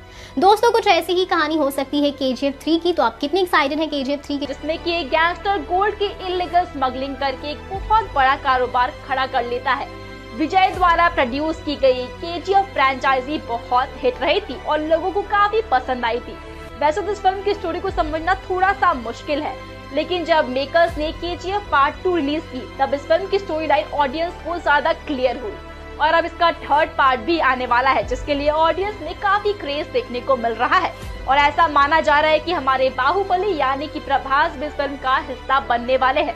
और ऐसे में इस फ़िल्म की एक्साइटमेंट और भी बढ़ जाती है। तो पार्ट थ्री की स्टोरी जानने के लिए बने रहिए हमारे साथ। नमस्कार दोस्तों, आप देख रहे हैं आपका अपना फेवरेट और पसंदीदा चैनल बॉलीग्रैड स्टूडियोज दोस्तों, आपको बताते चलें कि सन उन्नीस सौ तिरानवे के मुंबई बम धमाकों के बाद से आतंक का चेहरा बना। मुंबई का ये डॉन भारत की मोस्ट वांटेड लिस्ट में टॉप पर है। मुंबई की सबसे बड़ी आतंकी वारदात में दो सौ सतावन लोगों की मौत हुई थी और करीब करीब 800 लोग घायल हुए थे, जिसका मास्टरमाइंड था अंडरवर्ल्ड डॉन दाऊद इब्राहिम। 1980 और 90 के दशक में बॉम्बे अंडरवर्ल्ड के बेताज बादशाह रहे इस डॉन को भारत की पुलिस और कई एजेंसियाँ आज भी ढूंढ रही हैं। इसके पीछे इंटरपोल की पुलिस लगी हुई है और उसके खिलाफ रेड कॉर्नर नोटिस भी जारी किया जा चुका है रेड कॉर्नर नोटिस वही है जो देश से भागे हुए आपराधिक गतिविधियों में शामिल व्यक्ति के बारे में पता लगाने के लिए जारी किया जाता है रेड नोटिस अंतर्राष्ट्रीय गिरफ्तारी का वारंट नहीं होता है। जब किसी व्यक्ति के ऊपर रेड नोटिस जारी किया जाता है ना तो समझ लीजिए कि उस व्यक्ति ने देश में कोई गंभीर अपराध किया है, यानी वो दोषी है। वहीं अरेस्ट वारंट से रेड कॉर्नर नोटिस अलग होता है। दोस्तों, दाऊद इब्राहिम का जन्म 27 दिसंबर 1955 को महाराष्ट्र के रत्नागिरी गाँव में हुआ था। उसका पूरा नाम शेख दाऊद इब्राहिम कास्कर है। दोस्तों, आपको बता दें कि उसके पिता शेख इब्राहिम अली कास्कर मुंबई पुलिस में हवलदार थे। परिवार बड़ा था, इसीलिए उन्हें खर्चे चलाने में दिक्कत होती थी। स्कूल में पढ़ाई के दौरान बुरी सोबत में पड़े दाऊद ने चोरी, डकैती और तस्करी शुरू कर दी। इससे परेशान होकर घर वालों ने उसकी शादी बीना जरीना नाम की लड़की से कर दी। लेकिन वो जुर्म की दुनिया में आगे ही बढ़ता जा रहा था। आपको बता दें कि दाऊद ने एक बिजनेसमैन को लूटकर जुर्म की दुनिया में कदम रखा। फिर इसके लिए उसे जेल भी जाना पड़ा था। उसके पिता को इस बात का पता चला तो उन्होंने दाऊद को घर से ही निकाल दिया था। दोस्तों, घर से निकाले जाने के बाद दाऊद मुंबई के उस समय के डॉन करीम लाला के गैंग में शामिल हो गया। करीम लाला से जुर्म की दुनिया के सारे पैतरे सीखने के बाद दाऊद ने अपने भाई साबिर के साथ अलग गैंग बना लिया। 1980 के दशक में मुंबई में हाजी मस्तान और करीम लाला का राज था। दाऊद ने धीरे धीरे इन दोनों को पीछे छोड़ दिया। मीडिया ने उसके गैंग का नाम दिया डी कंपनी। दोस्तों, ऐसे ही किसी डॉन और टॉप टेन अपराधी की लिस्ट के जी एफ़ थ्री की कहानी में शामिल हो सकती है। Hello guys welcome back to your favourite YouTube channel Bollygrad studios दोस्तों, किसे मालूम था कि अफ़गानिस्तान के एक गाँव में जन्मा साधारण सा एक लड़का आगे जाके मुंबई का माफिया डॉन बनेगा? जी हाँ आज की कहानी है करीम लाला के बारे में। करीम लाला के बचपन का नाम करीम शेख था। करीम लाला 1920 के दशक में अफ़गानिस्तान से मुंबई आया। वो बहुत गरीब परिवार से था। मुंबई में उनका परिवार साउथ बॉम्बे के सबसे घनी आबादी वाले इलाके भिंडी बाज़ार के पास बस गया। शायद मुंबई आने से पहले उसे खुद को भी ये मालूम नहीं था कि वो एक गैंगस्टर बन जाएगा। लेकिन यहाँ की चकाचौन ने एक मामूली इंसान को गैंगस्टर में तब्दील कर दिया और मुंबई आने के बाद उसका गैंगस्टर करियर शुरू हुआ। पहले उसने मुंबई गुड़ी में अपना काम करना शुरू किया और फिर बाद में पठान के एक गिरोह में शामिल हो गया, जिसमें मारवाड़ी और गुजराती जमींदारों और व्यापारियों के लिए इलीगल वसूली एजेंट के रूप में काम करना शुरू किया और यहीं से उसका करीम शेख से करीम लाला बनने का सफ़र शुरू हुआ। दोस्तों, लाला ने जल्दी पठान गैंग का चीफ बनने के लिए अपने काम का दायरा बढ़ा दिया और अब वो कॉन्ट्रैक्ट किलिंग किडनैपिंग और जबरन वसूली भी करने लगा। और धीरे धीरे वो अपने काम में परफेक्ट हो गया और उसका ये व्यापार भी बढ़ता गया। लेकिन इससे उसके साथ ही हाजी मस्तान और वरदराजन जलने लगे और उनके बीच विनाश की लड़ाई शुरू हो गई। फिर तीनों ने साथ मिलकर अपने काम और स्थान का विभाजन किया। अपने समय में लाला के संबंध बॉलीवुड सेलिब्रिटी से काफ़ी अच्छे थे। वो अक्सर बड़ी हस्तियों को ईद और पार्टियों में बुलाया करता था। 1970 से 80 के दशक में बॉलीवुड सेलिब्रिटी से उसके संबंध काफ़ी बढ़ने लगे थे। करीम लाला के बहुत इलीगल बिजनेसेस थे, पर अपने साथियों की तुलना में उसका जीवन काफ़ी सादगी भरा था। लेकिन फिर भी बिज़नेस में उसकी बराबरी कोई नहीं कर सका। इतने बड़े बड़े इलीगल बिजनेसेस करने के बाद भी भारत की सरकार उसे कभी पकड़ नहीं पाई। और ऐसी ही गैंगस्टर की कहानी लेकर आ रहे हैं विजय किरंगडू अपनी अगली फ़िल्म के जी एफ़ थ्री में, जिसमें कि एक गैंगस्टर गोल्ड की इलीगल स्मगलिंग करके एक बहुत बड़ा कारोबार खड़ा कर लेता है। विजय द्वारा प्रोड्यूस की गई के फ्रेंचाइजी बहुत हिट रही थी और लोगों को काफ़ी पसंद आई थी। वैसे तो इस फ़िल्म की स्टोरी को समझना थोड़ा सा मुश्किल है, लेकिन जब मेकर्स ने के पार्ट टू रिलीज़ की, तब इस फ़िल्म की स्टोरी लाइन ऑडियंस को ज़्यादा क्लियर हुई। और अब इसका थर्ड पार्ट भी आने वाला है, जिसके लिए ऑडियंस में काफ़ी क्रेज देखने को मिल रहा है। और ऐसा माना जा रहा है कि हमारे बाहुबली यानी कि प्रभास भी इस फ़िल्म का हिस्सा बनने वाले हैं। और ऐसे में इस फ़िल्म के लिए एक्साइटमेंट और भी बढ़ जाती है। तो पार्ट थ्री की स्टोरी जानने के लिए बने रहिए हमारे साथ। से करोड़ों तक। यूँ तो हमने ऐसे कई बिजनेसमैन और ऐसे कई लोगों की कहानियाँ तो सुनी, जो कि छोटे शहरों से लेकर अपने आप को करोड़पति के दर्जे तक ले गए। लेकिन अगर एक ऐसे आदमी के बारे में जाना जाए, जो कि काफ़ी ज़्यादा अजीब माना जाता था तो एक ही आदमी का नाम सबके सामने आता है। जी हाँ हम बात कर रहे हैं टिमोथी डेक्स्टर की। अमेरिका में 18वीं सदी में टिमोथी डेक्स्टर नाम का एक ऐसा बिजनेसमैन था, जिसने कई ऐसी डील की जो कि काफ़ी ज़्यादा आम डील मानी जाती थी। लेकिन इसके बाद भी उसको काफ़ी ज़्यादा फ़ायदा हुआ। बचपन से ही टिमोथी डेक्स्टर अपने आप को काफ़ी ज़्यादा माहिर और लेजेंडरी समझा करता था। उसने आठ साल की उम्र में स्कूल छोड़ दिया और ये फैसला किया कि वो कारोबार में हिस्सा लेकर पैसा कमाएगा। अपनी शुरुआत करने के लिए उसने कोयले का साथ लिया। जी हाँ डेक्स्टर अपने शहर में कोयला बेचा करता था, जहाँ शुरुआत में कोयला बेचकर उसे फ़ायदा तो होता था, लेकिन कोई बहुत ज़्यादा कमाई नहीं होती थी। उसके बाद उसने रजाई बेचनी शुरू कर दिया। ऐसी छोटी छोटी चीज़ों को बेचना शुरू करने के बाद उसने खूब दौलत कमाई। वो एक अनपढ़ आदमी से करोड़पति बन बैठा।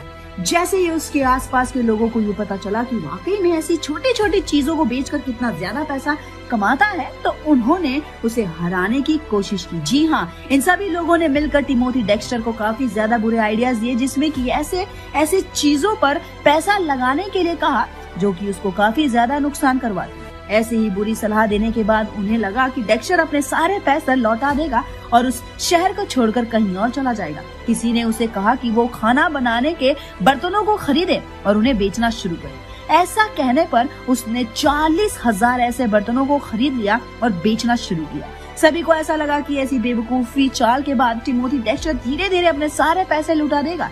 लेकिन हुआ एकदम उल्टा। लोगों ने डेक्स्टर से बड़े बड़े दामों पर ये सारे बर्तन खरीदे हैं और उसका नाम और उसकी दौलत बढ़ती ही गई। सभी को ये लगने लगा कि डेक्स्टर एक पागल इंसान है, लेकिन वाकई में उसे बिज़नेस करना आता था और वो छोटे से छोटे सामान को बेचने में भी शर्म नहीं करता था। कुछ ऐसे ही उसने एक छोटे से किसान के परिवार से लेकर अपने आप को न्यू पोर्ट शहर का शहनशाह बना दिया।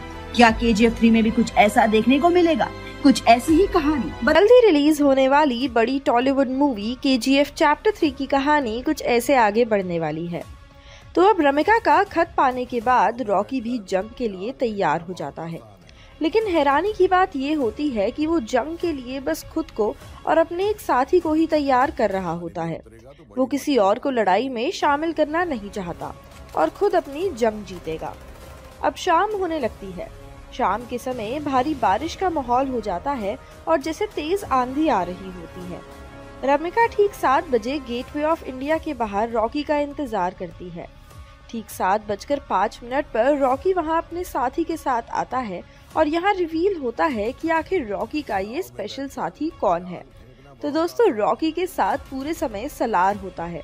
जो इस वक्त सारा काम संभालता है और पूरे समय बिना कुछ बोले बस रॉकी की आज्ञाओं का पालन कर रहा होता है।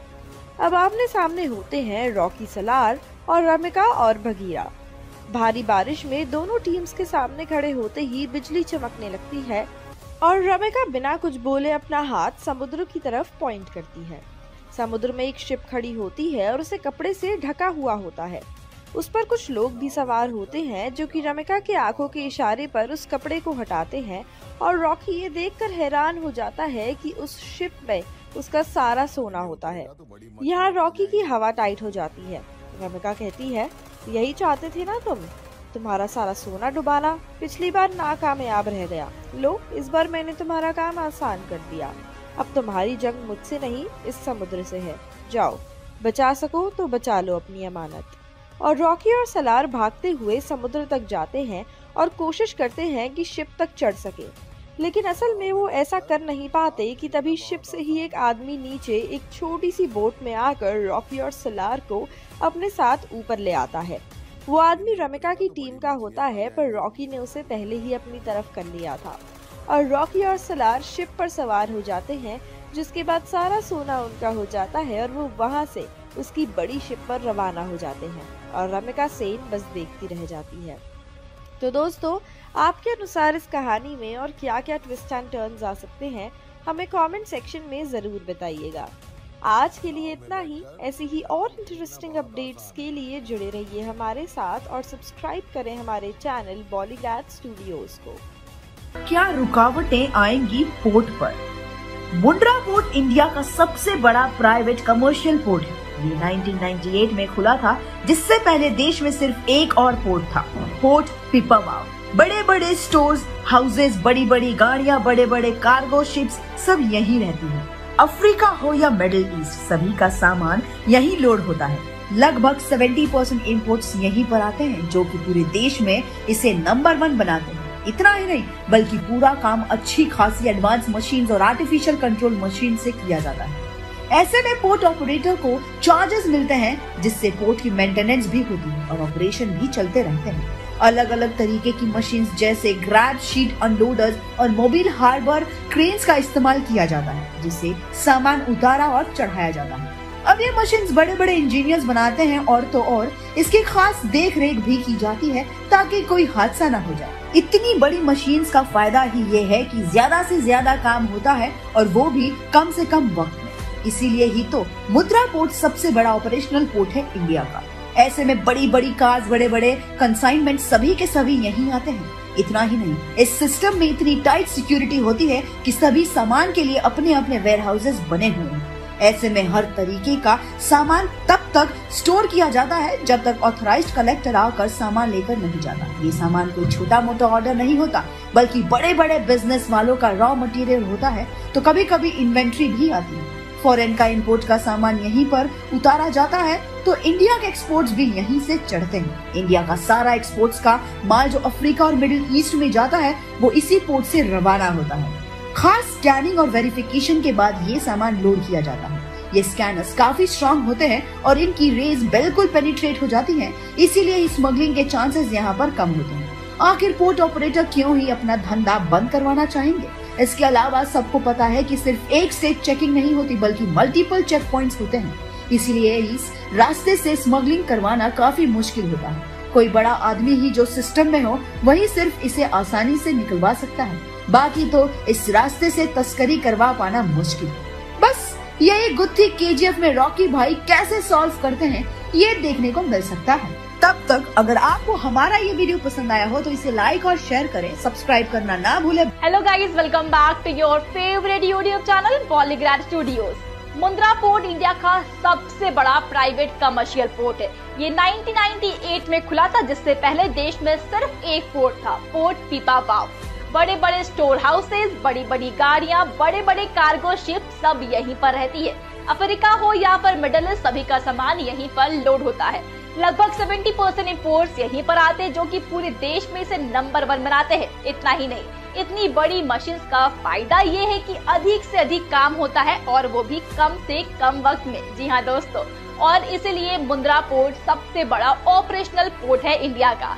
ऐसे में बड़ी बड़ी कार्स बड़े बड़े कंसाइनमेंट सभी के सभी यहीं पर आते हैं। इतना ही नहीं, इस सिस्टम में इतनी टाइट सिक्योरिटी होती है कि सभी सामान के लिए अपने अपने वेयर हाउसेस बने हुए हैं।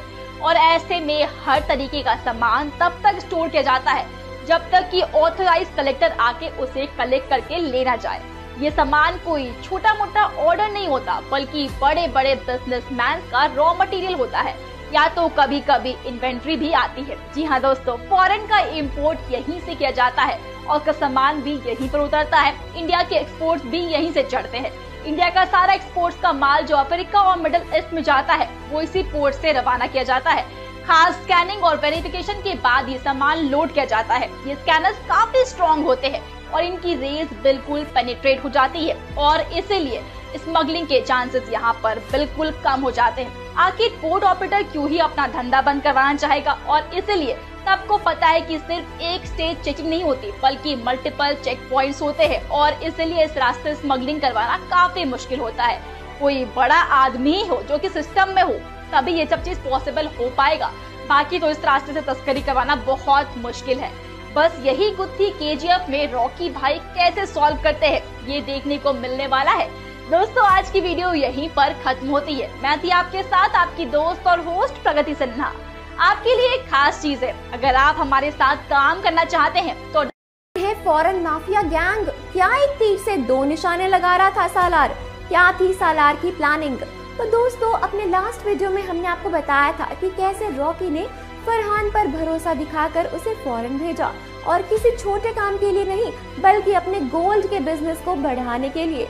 लेकिन फरहान ने गोल्ड के बिज़नेस के साथ साथ और भी कई ऐसी चीज़ें शुरू कर दी थी, जिसकी वजह से वो बना सालार और उन सब क्राइम्स का जिम्मेदार बना रॉकी क्योंकि सालार का सारा गैर कानूनी काम और इलीगल बिज़नेस सब रॉकी के नाम से ही चलते थे और इसी वजह से रॉकी पर नज़र पड़ी फॉरेन के एक बड़े माफिया गैंग की। जिसने सबसे पहले तो रॉकी को फ़ोन करके ये खबर पहुंचाई कि उसके बिज़नेस की वजह से उन्हें काफ़ी दिक्कत हो रही है जिसे उसे सुधारना होगा। अभी पहली बार था कि रॉकी को किसी ने बिज़नेस के लिए टोका था तो वो सीधे सालार को फ़ोन करता है और कहता है, मैंने तुझे वहाँ अपने बिज़नेस को बढ़ाने को भेजा था, लेकिन बिज़नेस किस दिशा में बढ़ेगा और किस हद तक पहुँचेगा, ये भी ध्यान तुझे ही रखना है। खबर है कि किसी अंडरवर्ल्ड माफिया को अपने बिज़नेस से तकलीफ़ हो रही है। अब इसके जवाब में सालार उसे कहता है, पता नहीं भाई, मैं बिज़नेस को बड़े लेवल पर संभालता हूँ। ये छोटे मोटे गुंडों को इससे कोई तकलीफ़ होती है तो मेरा ध्यान ही नहीं जाता। तो सुनते ही रॉकी उसे सिर्फ़ एक बात ही कहता है, कभी किसी छोटे मोटे गुंडे को ना अंडर एस्टिमेट मत करना। एक चीटी ही हाथी को पलटने के लिए काफ़ी होती है और यही इन दोनों की बात खत्म हो जाती है। फ़िलहाल रॉकी इन सब चीज़ों पर इतना ध्यान नहीं देता, क्योंकि उसे लगता है कि फरहान है, सब कुछ संभाल लेगा। लेकिन सच्चाई तो कुछ और ही थी। वहाँ फरहान अब सालार बन चुका था और उसे अपने नाम को एक ब्रांड बनाना था, जिसके लिए वो एक तीर से दो निशाने लगाना चाहता था, जिसमें पहला निशाना था दुनिया के ज़्यादा से ज़्यादा हथियार और गोल्ड का बिज़नेस अपने हाथ में लेना, और दूसरा था रॉकी असल में वो ये सब बिज़नेस अपने नाम से भी चला सकता था क्योंकि उसे नाम ही तो चाहिए था। लेकिन रॉकी की तरह उसके भी कुछ उसूल थे जो उसे किसी फेंकी हुई चीज़ को उठाने से इनकार करते थे। इसीलिए सालार ने प्लान बनाया अंडरवर्ल्ड माफिया से रॉकी को मरवाने का। वो बदले में उन्हें रॉकी का आधा बिज़नेस दे देता और उसे अंडरवर्ल्ड में सिर्फ़ एक नाम चाहिए था। अंडरवर्ल्ड पर राज करने वाला और रॉकी को मारने वाला सालार। लेकिन इसके साथ ही वो अपना दूसरा तीर चला रहा था खुद माफिया गैंग पर। जो एक तरह फिर रॉकी को मारेगी और सालार द्वारा रॉकी की सेना भड़काएगी और उन्हें खत्म कर देगी। यहाँ से के भी, उसकी और अंडरवर्ल्ड भी। लेकिन अब क्या वो अपने इन सपनों को पूरा कर पाएगा? क्या रॉकी को मारना सच में इतना होगा आसान? अब सवाल तो वेल दोस्तों बहुत सारे हैं। आई एम श्योर मेरी तरह आप लोग भी बहुत क्यूरियस होंगे कि आगे क्या होगा। डोंगरी से दुबई तक का सफ़र। महाराष्ट्र के गाँव में एक मुस्लिम परिवार में जन्मा एक साधारण सा लड़का। किसे पता था कि वो एक दिन मोस्ट वांटेड गैंगस्टर बनेगा? पर उससे भी बड़ी बात तो ये है कि उसके पिता मुंबई पुलिस के एक हेड कांस्टेबल थे और उसकी माँ एक हाउसवाइफ। वैसे तो कहा जाता है कि आपके माँ बाप जिस पेशे में होते हैं, बच्चे भी वही काम करते हैं। पर दाऊद के केस में तो ऐसा बिल्कुल नहीं था। पैसों के दम पर दुनिया की नाक में दम करने वाला दाऊद इब्राहिम शुरू से ही ऐसा नहीं था। दाऊद एक बहुत ही गरीब परिवार से था। इसलिए उसे हमेशा अपने जरूरतों को मारना पड़ता था। उसका परिवार इतना गरीब था कि वो एक समय की रोटी के लिए भी मोहताज हुआ करता था। और इसी गरीबी के चलते उसे ऐसा रास्ता अपनाना पड़ा, जिसे आज उसे दुनिया भर की पुलिस ढूंढ रही है। वैसे तो बचपन में वो बड़ा शांत स्वभाव का था। लेकिन जैसे जैसे वो बड़ा हुआ उसे चोरी, धोखाधड़ी और डकैती करना शुरू कर दिया। और वो एक गैंगस्टर और डॉन बाशु दादा के गृहों में शामिल हो गया। और उसने बहुत सारे लीगल बिज़नेस करने शुरू कर दिए, जैसे कि सोने की तस्करी, रियल एस्टेट, जबरन वसूली और ड्रग्स की लीगल सप्लाई। लोग उसे डोंगरी का राजा कहते थे। वो 1986 में भारत छोड़कर दुबई भाग गया था और तब से भारत की सरकार उसे ढूंढ रही है। उसे इंडियन गवर्नमेंट द्वारा 1993 के मुंबई हमलों के मास्टरमाइंड घोषित कर दिया गया है। दाऊद ने अपने जीवन में बहुत सारे लीगल बिज़नेस किए हैं, जैसे ड्रग्स की सप्लाई उसने 2018 के मुंबई हमलों में केमिकल्स की सप्लाई की थी। दाऊद ने न जाने कितने ही मर्डर्स किए हैं और इतना कुछ करने के बाद भी भारत सरकार उसे अभी तक पकड़ पाने में असफल रही है। न जाने वो आगे और कितना अपराध करेगा। और आगे चलकर कितने मासूमों को अपना शिकार बनाएगा। ऐसे ये गैंगस्टर की कहानी लेकर आ रहे हैं विजय कीरा गंडूर अपनी अगली फ़िल्म के जी एफ़ थ्री में, जिसमें एक गैंगस्टर गोल्ड की इलीगल स्मगलिंग करके एक बहुत बड़ा कारोबार खड़ा कर लेता है। बहुत जल्द मेकर्स इस हिट फ्रेंचाइजी का थर्ड पार्ट भी लाने वाले हैं, जिसके लिए ऑडियंस में काफ़ी क्रेज देखने को मिल रहा था। तो पार्ट थ्री की स्टोरी जानने के लिए बने रहिए हमारे साथ। आपको आज का ये वीडियो कैसा लगा? सबसे बड़ा साइबर फ्रॉड। नमस्कार दोस्तों, मैं आपकी दोस्त और होस्ट ओशीन आपका स्वागत करती हूँ आपके ही पसंदीदा चैनल पॉलीराइज स्टूडियोज में। ये कहानी है इंडिया के सबसे बड़े साइबर फ्रॉड की। The Cosmos cooperative bank जो इंडिया के सबसे पुराने बैंक्स में से एक है, जिसके हेडक्वार्टर्स पुणे में लोकेटेड है। 11 और 13 अगस्त 2018 को कुछ इंटरनेशनल हैकर्स की एक टीम ने कॉस्मोस बैंक के सर्वर को हैक कर लिया। इस हाइस्ट के दौरान कॉस्मोस बैंक से अलग अलग मीडियम से टोटल 94 करोड़ की चोरी होती है। लेकिन इन्वेस्टिगेटर्स इस बात से हैरान थे कि उन्हें इस फ्रॉड की जानकारी उनके सीबीएस से न मिलके वीज़ा और स्विफ्ट जैसे पेमेंट सेटलमेंट प्लेटफॉर्म से मिल रही है। दरअसल हैकर्स ने कोर बैंकिंग सिस्टम को हैक करके इनएक्टिव कर दिया था, जिसकी वजह से सीबीएस बैंक को इन ट्रांजैक्शन के बारे में कोई भी डिटेल नहीं मिल पा रही थी। इन्वेस्टिगेटर्स इस हैकिंग के पीछे का प्लान ढूंढ ही रहे थे कि उन्हें पता चलता है कि हैकर्स ने बैंक के एटीएम इंफ्रास्ट्रक्चर्स को मालवेयर के थ्रू कॉम्प्रोमाइज किया है। एक बार जैसे ही ये वायरस एटीएम से होता हुआ बैंक के इंफ्रास्ट्रक्चर में एंटर हुआ, उसने एटीएम और सीबीएस का कनेक्शन डिले कर दिया, जिससे कि वो डायरेक्ट बैंक से कनेक्ट हो गया और ATM fake balance account show करने लगे। इन फेक बैलेंस को शो करते हुए हैकर्स ने एटीएम से अनऑथोराइज कैश विड्रॉ किए। इन कैश को विड्रॉ करने के लिए हैकर्स ने क्लोन एटीएम कार्ड्स की मदद ली। इन्वेस्टिगेटर्स को आगे जाँच करने पर पता चला कि इन हैकर्स ने सभी क्लोन एटीएम कार्ड्स की डिटेल भी डार्क नेट से असेस की थी, जहाँ इंडिविजुअल की ऐसी ही इंफॉर्मेशन सेल की जाती है। क्योंकि हैकर्स ने सीबीएस और एटीएम का कनेक्शन भी हैक किया था, इसलिए एटीएम से निकाला गया कोई भी पैसा बैंक में नहीं शो हो रहा था। 11 अगस्त को 3 बजे से रात 10 बजे तक हैकर्स ने इंडिया समेत 31 कंट्रीज़ में 80 करोड़ रुपीस विड्रॉ किए थे। लेकिन हैकर्स यहाँ भी नहीं रुके। और 13 अगस्त को हैकर्स ने कॉस्मोस बैंक के पैसों को स्विफ्ट के थ्रू हांगकांग के हैंग सैंग बैंक के एएलएम ट्रेडिंग लिम में ट्रांसफ़र करने का प्लान किया। जब स्विफ्ट को इस ट्रांजैक्शन को लेकर शक हुआ तो उसने कॉस्मोस बैंक को इन्फॉर्म किया और इस साइबर फ्रॉड का पता लगाया। पुणे पुलिस ने अपनी इन्वेस्टिगेशन के दम पर इंडिया में 18 सस्पेक्ट्स को अरेस्ट किया।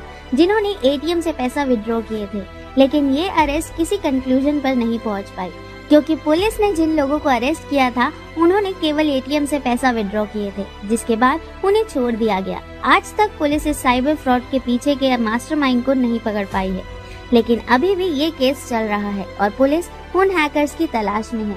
उम्मीद है कि इस बार के में रॉकी भाई कुछ ऐसा ही साइबर फ्रॉड करते नज़र आएँगे और दुनिया भर का पैसा और सोना लूटेंगे।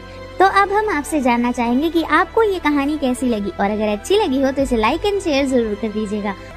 एक प्यून बना गोल्ड स्मगलर।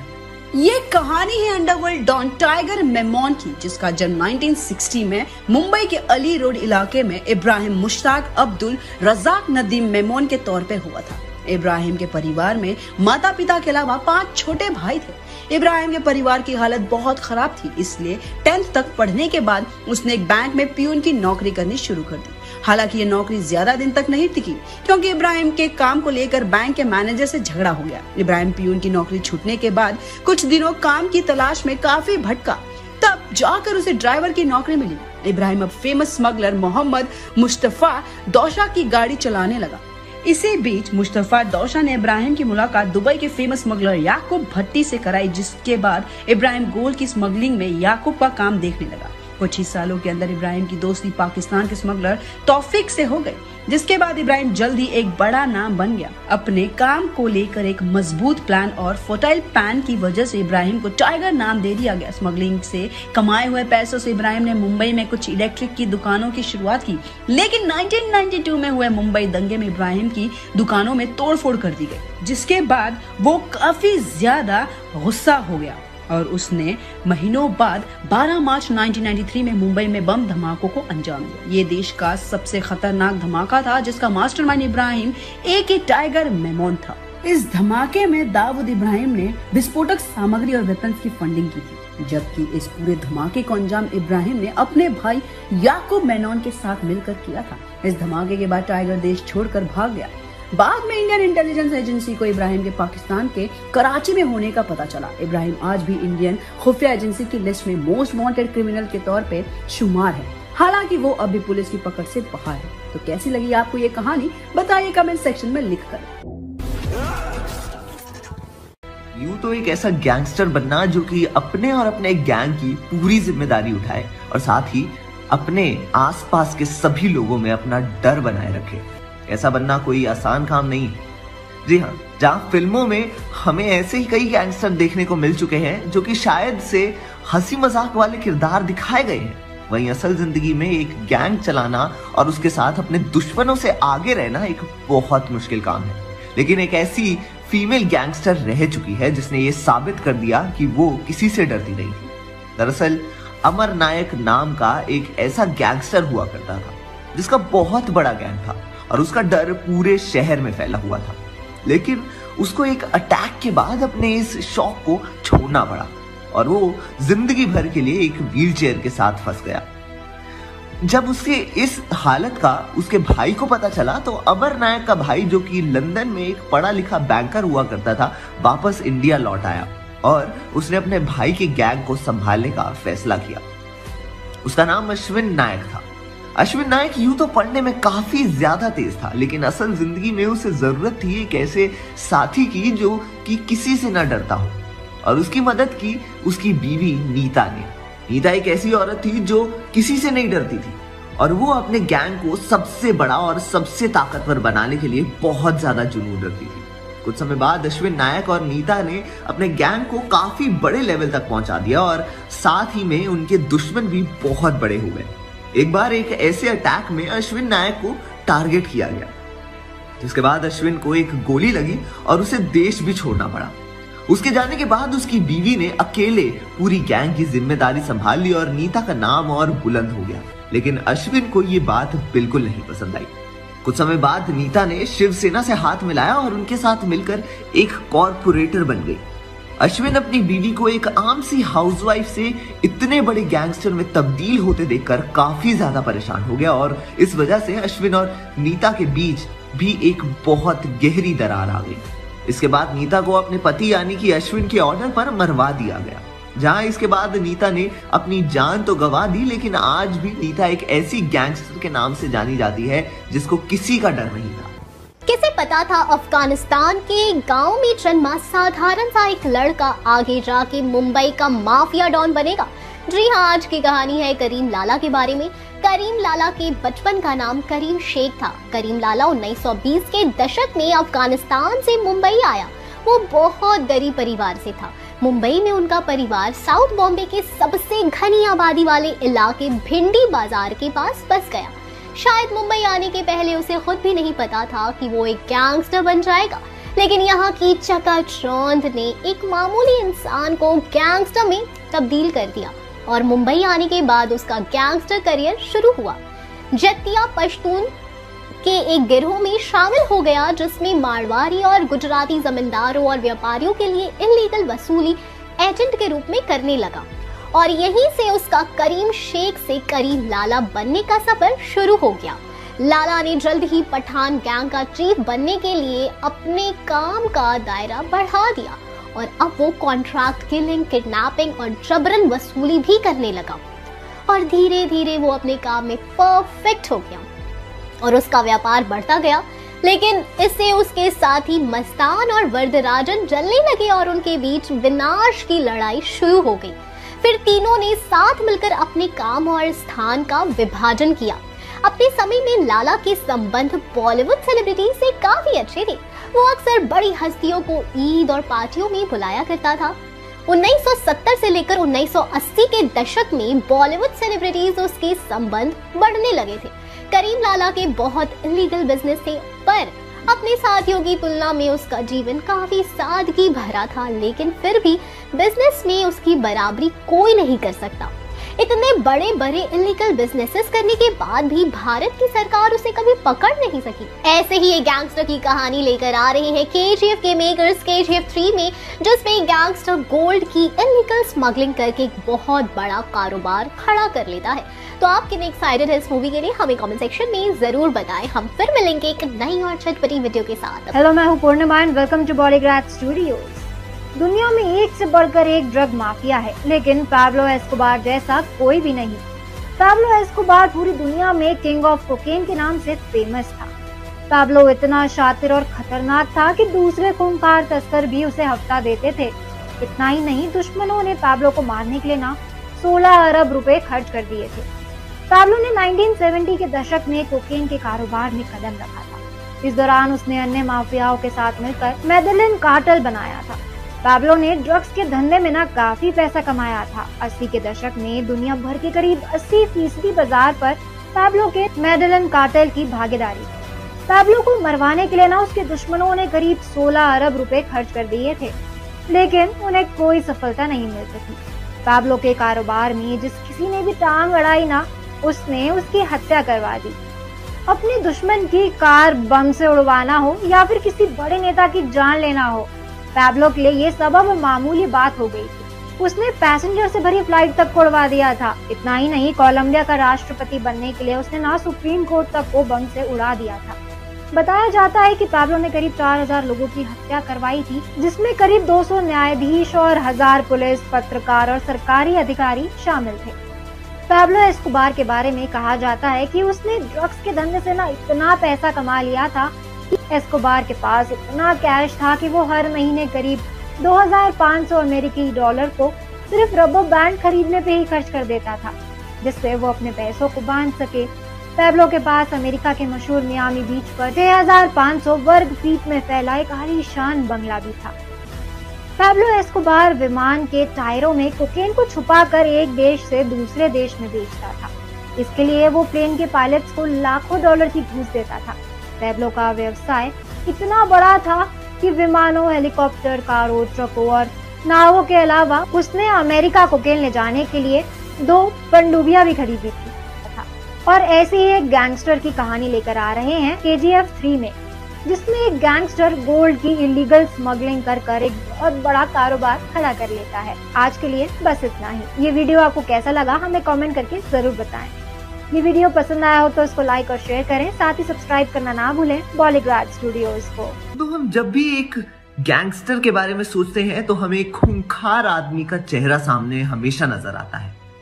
लेकिन ऐसा कई बार होता है कि आपका दुश्मन और ऐसे ही किसी गैंगस्टर की शक्ल खुंकार आदमी से मिलती जुलती नहीं होती, बल्कि एक भोली सी औरत से मिलती जुलती है। जी हाँ कुछ ऐसा ही हुआ था जब गुजरात में संतोख जडेजा नाम की एक गैंगस्टर ने अपना कमाल सबको दिखाया। पहली नज़र में आपको जडेजा को देखकर ऐसा नहीं लगेगा कि ये एक बहुत शातिर गैंगस्टर हो सकती है। उनकी शक्ल एकदम प्यारी सी गुजराती औरत के जैसी है। लेकिन उनकी मौत के सालों बाद भी, आज भी पोरबंदर राजकोट वाले इलाके में उनके नाम का कहर सब जानते हैं। दरअसल जडेजा ने इस रास्ते को तब चुना जब उनके पति, जो कि एक साल में काम करते थे, एक मिल में एक बहुत ही दिल दहला देने वाली मर्डर का शिकार बने। उन्होंने ये फैसला किया कि अपने पति का बदला लेने के लिए वो पुलिस के पास नहीं जाएगी। क्योंकि हो सकता है कि आम से मिल में काम करने वाले आदमी की मौत पुलिस के लिए बहुत बड़ी बात ना हो, और इसलिए उन्होंने कानून को अपने हाथ में लेने का फैसला किया। अपनी कुछ साथियों के साथ जडेरा ने चौदह लोगों को मार दिया, जो कि उनके पति के मर्डर में मिले हुए थे, और साबित कर दिया कि एक भोली सी सूरत का मतलब ये नहीं है कि वो बदला लेना नहीं जानती। वो काठियावाड़ इलाके में माफिया क्वीन के नाम से जानी गई और अंडरवर्ल्ड में घुस गई। वो अंडरवर्ल्ड में सबसे ज़्यादा मशहूर औरतों में से एक मानी जाती है। यही नहीं, बल्कि क्राइम और बदले की इस दुनिया से एक अलग दुनिया भी उन्होंने बसाई। वो 1990 से लेकर उन्नीस तक जनता दल की एक कैंडिडेट के तौर पर भी जानी जाती हैं। वो उस समय के लिए इस इलाके की एमएलए भी रही है। वो मशहूर चिमन भाई पटेल की काफ़ी करीबी दोस्त भी थी। इस गैंगस्टर ने पूरी दुनिया को ये दिखा दिया कि वो जो चाहे कर सकती है। और अपने पति के बदले से अंडरवर्ल्ड में अपना नाम फैला दिया। उनकी लाइफ से हमें इंस्पायर्ड एक बहुत मशहूर फ़िल्म भी देखने को मिली है, जिसका नाम है गॉड मदर जिसमें शबाना आजमी ने उनका किरदार निभाया है। वो एक ही ऐसी गैंगस्टर है जो कि अपनी कहानी से किसी भी बहुत बड़ी फ़िल्म को इंस्पायर कर सकती है। तो क्या लगता है आपको, क्या के चैप्टर थ्री में भी हमें कोई ऐसी ही लेडी गैंगस्टर की कहानी देखने को मिलेगी? हमें कमेंट सेक्शन में अपनी राय ज़रूर बताएँ और देखते रहिए हमारा चैनल पॉलीग्राफ स्टूडियो वर्ल्ड एक ऐसी दुनिया है जहाँ पर अपना नाम बनाना कोई भी आसान काम नहीं है।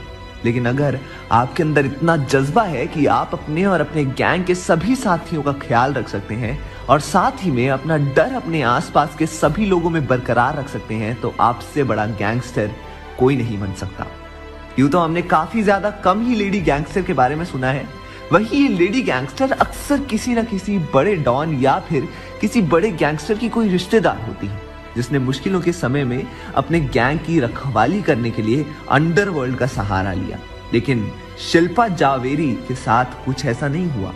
शिल्पा जावेरी एक ऐसी गैंगस्टर थी जो अपनी मर्ज़ी से अंडरवर्ल्ड का हिस्सा बनी और जिसने ये साबित कर दिखाया कि वो अपने गैंग के सभी मेंबर्स के लिए ही नहीं, बल्कि एक से बढ़कर एक बड़े डॉन के लिए हमेशा तैयार है और उनकी हर तरह से मदद कर सकती है।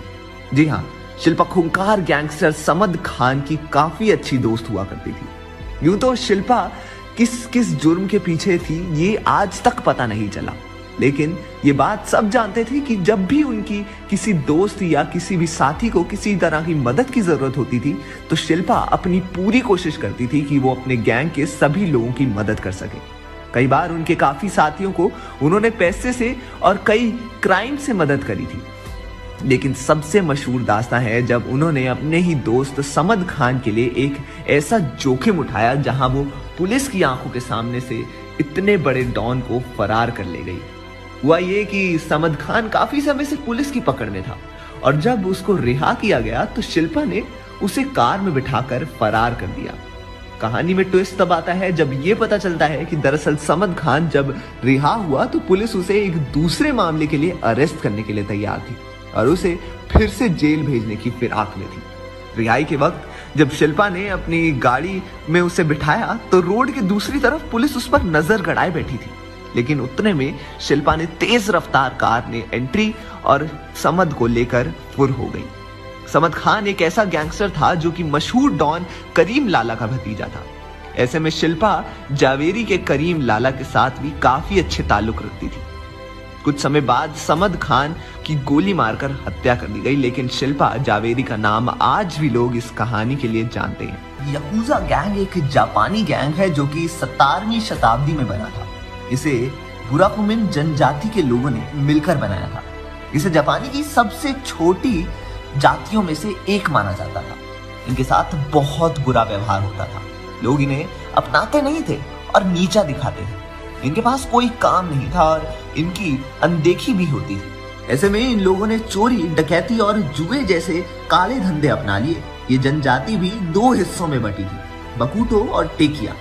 टेकिया वर्ग के लोग चोरी डकैती से मिले सामान को बाज़ार में बेच दिया करते थे। वहीं पकूटो जुए के धंधे चला रहे थे। ये लोग धीरे धीरे पूरे जापान में फ़ेमस होने लगे और इनके सदस्यों की संख्या भी बढ़ने लगी। आगे चलकर ये यकूजा के नाम से पहचाने जाने लगे। ये जापान के संगठित क्राइम सिंडिकेट है। यकूजा गैंग के लोगों पर जापानी सरकार की नज़र तो पड़ी, मगर उन्हें रोकने के लिए कुछ खास किया नहीं गया।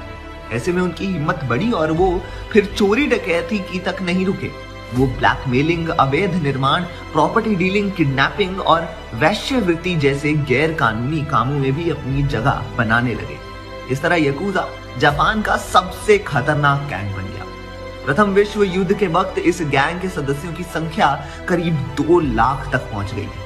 जापान सरकार ने खुद 2007 में बताया था कि वहाँ और दूसरे देशों में कुल 102 हज़ार यकूजा मेंबर एक्टिवेट ये सभी 2500 अलग अलग परिवार से संबंध रखते हैं। मगर ओयाबुन को जहाँ बड़ा गिलास भर कर दिया जाता है, वहीं कोबुन को गिलास में थोड़ी ही शराब दी जाती है। ऐसा इसलिए कि ड्रिंक में आपका ओहदा पता चलता है। ड्रिंक ज़्यादा मतलब स्टेटस में बढ़ा हालाँकि इस गैंग के बहुत से नियम हैं, जो इसे बेहद खतरनाक बनाते हैं। अगर किसी गैंग मेंबर ने कोई गलती की या दूसरे सदस्य के साथ गलत व्यवहार किया तो ऐसा करने वालों को अपनी बाएँ हाथ की छोटी उंगली का अगला भाग काटना पड़ता है। ऐसा हर गलती पर करना पड़ता है। इसके अलावा यकूजा की पहचान भी काफ़ी दर्दनाक है। और ऐसे ही एक गैंगस्टर की कहानी लेकर आ रहे हैं विजय किरंगंदूर अपनी अगली फ़िल्म के जी एफ़ थ्री में, जिसमें एक गैंगस्टर गोल्ड की इलीगल स्मगलिंग करके एक बहुत बड़ा कारोबार खड़ा कर लेता है। जब भी बात अंडरवर्ल्ड की आती है तो उसमें दाऊद इब्राहिम का नाम हमेशा आता है। दाऊद इब्राहिम एक ऐसा नाम है जिसके कहने से ही मुंबई का कमिश्नर तक बदल दिया जाता है।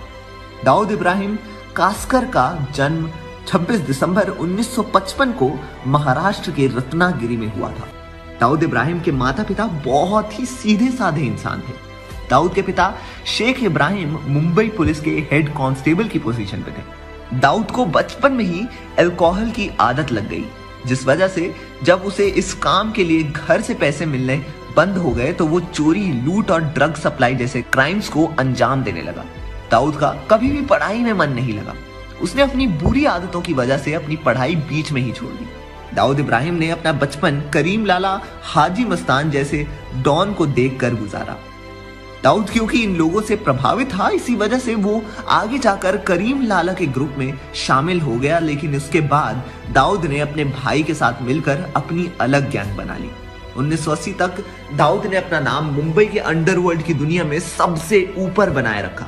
इसी वजह से दाऊद की पहुँच अब बॉलीवुड इंडस्ट्री से लेकर गैम्बलिंग की दुनिया तक पहुँच गई थी। दाऊद का आतंक 80 के दशक में इतना बढ़ गया था कि वो अब लोगों को धमकाकर फिरौती लेने लगा था। मुंबई पुलिस उसे पकड़ने के पीछे काफ़ी दिनों से थी, लेकिन वो उन्हें चकमा देकर दुबई भाग गया। इसी दौरान उसकी मुलाकात दूसरे डॉन से हुई, जिसका नाम छोटे राजन था। दोनों ने मिलकर भारत के बाहर से क्राइम को अंजाम दिया। दाऊद विदेश में बैठकर कई आतंक समूह और अपनी गैंग की मदद से भारत में कई क्राइम्स को अंजाम देता रहा। 12 मार्च उन्नीस सौ तिरानवे को मुंबई में कई जगह भारी बॉम्ब धमाके हुए।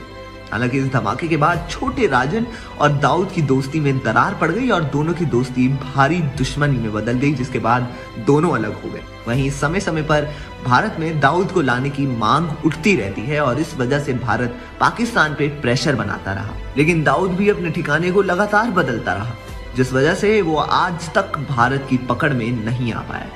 दाऊद ने कई बार अपने नाम और पहचान बदले हैं और इसके बाद क्राइम को अंजाम दिया है।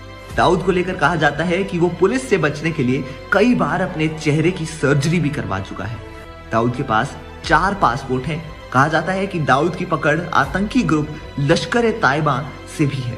इसके अलावा ये भी कहा जाता है कि दाऊद आतंकी और सामा बिन लादेन को भी जानता था। 2003 में दाऊद को इंडिया और यूएसए द्वारा एक ग्लोबल टेररिस्ट अनाउंस कर दिया गया है। तो दर्शकों, ये थी भारत के most wanted don Dawood Ibrahim की कहानी। ऐसी और कहानियाँ जानने के लिए देखते रहिए हमारा चैनल पॉलीग्राफ स्टूडियो। थ्री को लेकर कहा जा रहा है कि रॉकी इस बार ना अमेरिका का रुख कर सकता है, जहाँ पे उसकी मदद अमेरिकन माफिया करेंगे। तो आखिर किस तरह का किरदार होगा इस अमेरिकन माफिया का, आइए जानते हैं। एल्सवर्थ रेमंड बम्पी जॉनसन का जन्म 31 अक्टूबर 1905 को अमेरिका के साउथ कैरोलिना के चार्ल्सटन में एक ब्लैक फैमिली में हुआ था। जब जॉनसन 10 साल का था तो उसके बड़े भाई विली पे एक व्हाइट आदमी की हत्या करने का आरोप लगा था। बम्पी के माता पिता को डर था कि कहीं मॉब लिंच ना हो जाए। इस वजह से ना उन्होंने अपना घर गिरवी रख दिया, ताकि वो पैसा जमा कर सके और विली को सुरक्षित उसके रिलेटिव के यहाँ नॉर्थ कैरोलिना में छोड़ सके। जॉनसन को बम्पी नाम उसके सर के पीछे मौजूद एक बम की वजह से मिला था। जैसे जैसे जॉनसन बड़ा हो रहा था वैसे वैसे ना उसके माता पिता जॉनसन के टेम्पर को लेकर काफ़ी परेशान थे। जॉनसन वाइट्स के प्रति ना काफ़ी बदतमीज होते जा रहा था, जो बात उसके माता पिता को परेशान कर रही थी। इसी कारण जॉनसन को हार्लेम उसकी बड़ी बहन मेबल के पास भेज दिया गया। हार्लेम न्यूयॉर्क के पड़ोस में स्थित एक शहर है, जॉनसन हाई स्कूल से ड्रॉप आउट हो गया था और अनियंत्रित नौकरियाँ करने लगा था। ये वही वक्त था जब गैंगस्टर विलियम हेवेट ने जॉनसन को नोटिस किया, जिसके बाद जॉनसन ने विलियम के लिए ना काम करना शुरू कर दिया और अपने क्राइम के करियर की शुरुआत की। जॉनसन नंबर यानी कि लॉटरी गेम की क्वीन कही जाने वाली सेंट क्लेयर का सहयोगी था। 1930 में जॉनसन क्लेयर का मेन लेफ्टिनेंट बन गया। सेंट क्लेयर और जॉनसन का मकसद था कि वो न्यूयॉर्क मॉबस्टर डच शुल्स के खिलाफ युद्ध की शुरुआत करे। इस लड़ाई में 40 लोगों के मर्डर के अलावा कई लोगों की किडनैपिंग भी हुई। वहीं कुछ ही वक्त में जॉनसन के लिए ना एक सौदे के साथ डच की टीम ये लड़ाई हार गई। इस लड़ाई में जॉनसन ने डच की हत्या कर दी थी। जॉनसन ने उस दौरान अपना गैम्बलिंग का भी धंधा बनाए रखा था। जॉनसन अब अफ्रीकन अमेरिकन कम्युनिटी में फ़ेमस हो गया था और लोग ना उसका सम्मान करने लगे थे। 1952 में जॉनसन की एक्टिविटी अमेरिका की मैगजीन जेट के सेलिब्रिटी सेक्शन में प्रकाशित हुई। हीरोइन की स्मगलिंग करने की वजह से ना जॉनसन को उसी साल 15 साल की जेल की सजा सुनाई गई। दो साल बाद जेट के क्राइम सेक्शन के कॉलम में जॉनसन को लेकर एक खबर प्रकाशित हुई कि जॉनसन अब आगे की अपनी ज़िंदगी ना जेल में बिताएगा। जॉनसन ने सैन फ्रांसिस्को की अल्कट्रास जेल में अपनी सजा पूरी की। हालाँकि 1963 में जॉनसन जेल से पेरोल पे रिहा हो गया। जब जॉनसन रिहा हुआ तो उसका स्वागत करने के लिए ना लोगों की परेड खड़ी थी। जॉनसन अपनी ज़िंदगी में 40 से ज़्यादा बार अरेस्ट हुआ था और करीब दो बार उसे नारकोटिक्स की तरफ़ से जेल की सजा मिली थी। जॉनसन जब हार्ट अटैक से मरा, तब उसके ऊपर ना ड्रग्स को लेकर कई चार्जेस लगे हुए थे। जॉनसन की मौत 62 साल की उम्र में 7 जुलाई 1968 को हुई। तो ये थी माफिया बम्पी जॉनसन की कहानी। इस तरह के क्राइम बॉस को हम के चैप्टर थ्री में देख सकते हैं। आज के लिए बस इतना ही। अब मैं पूर्णिमा लेती हूँ आप सभी से अलविदा।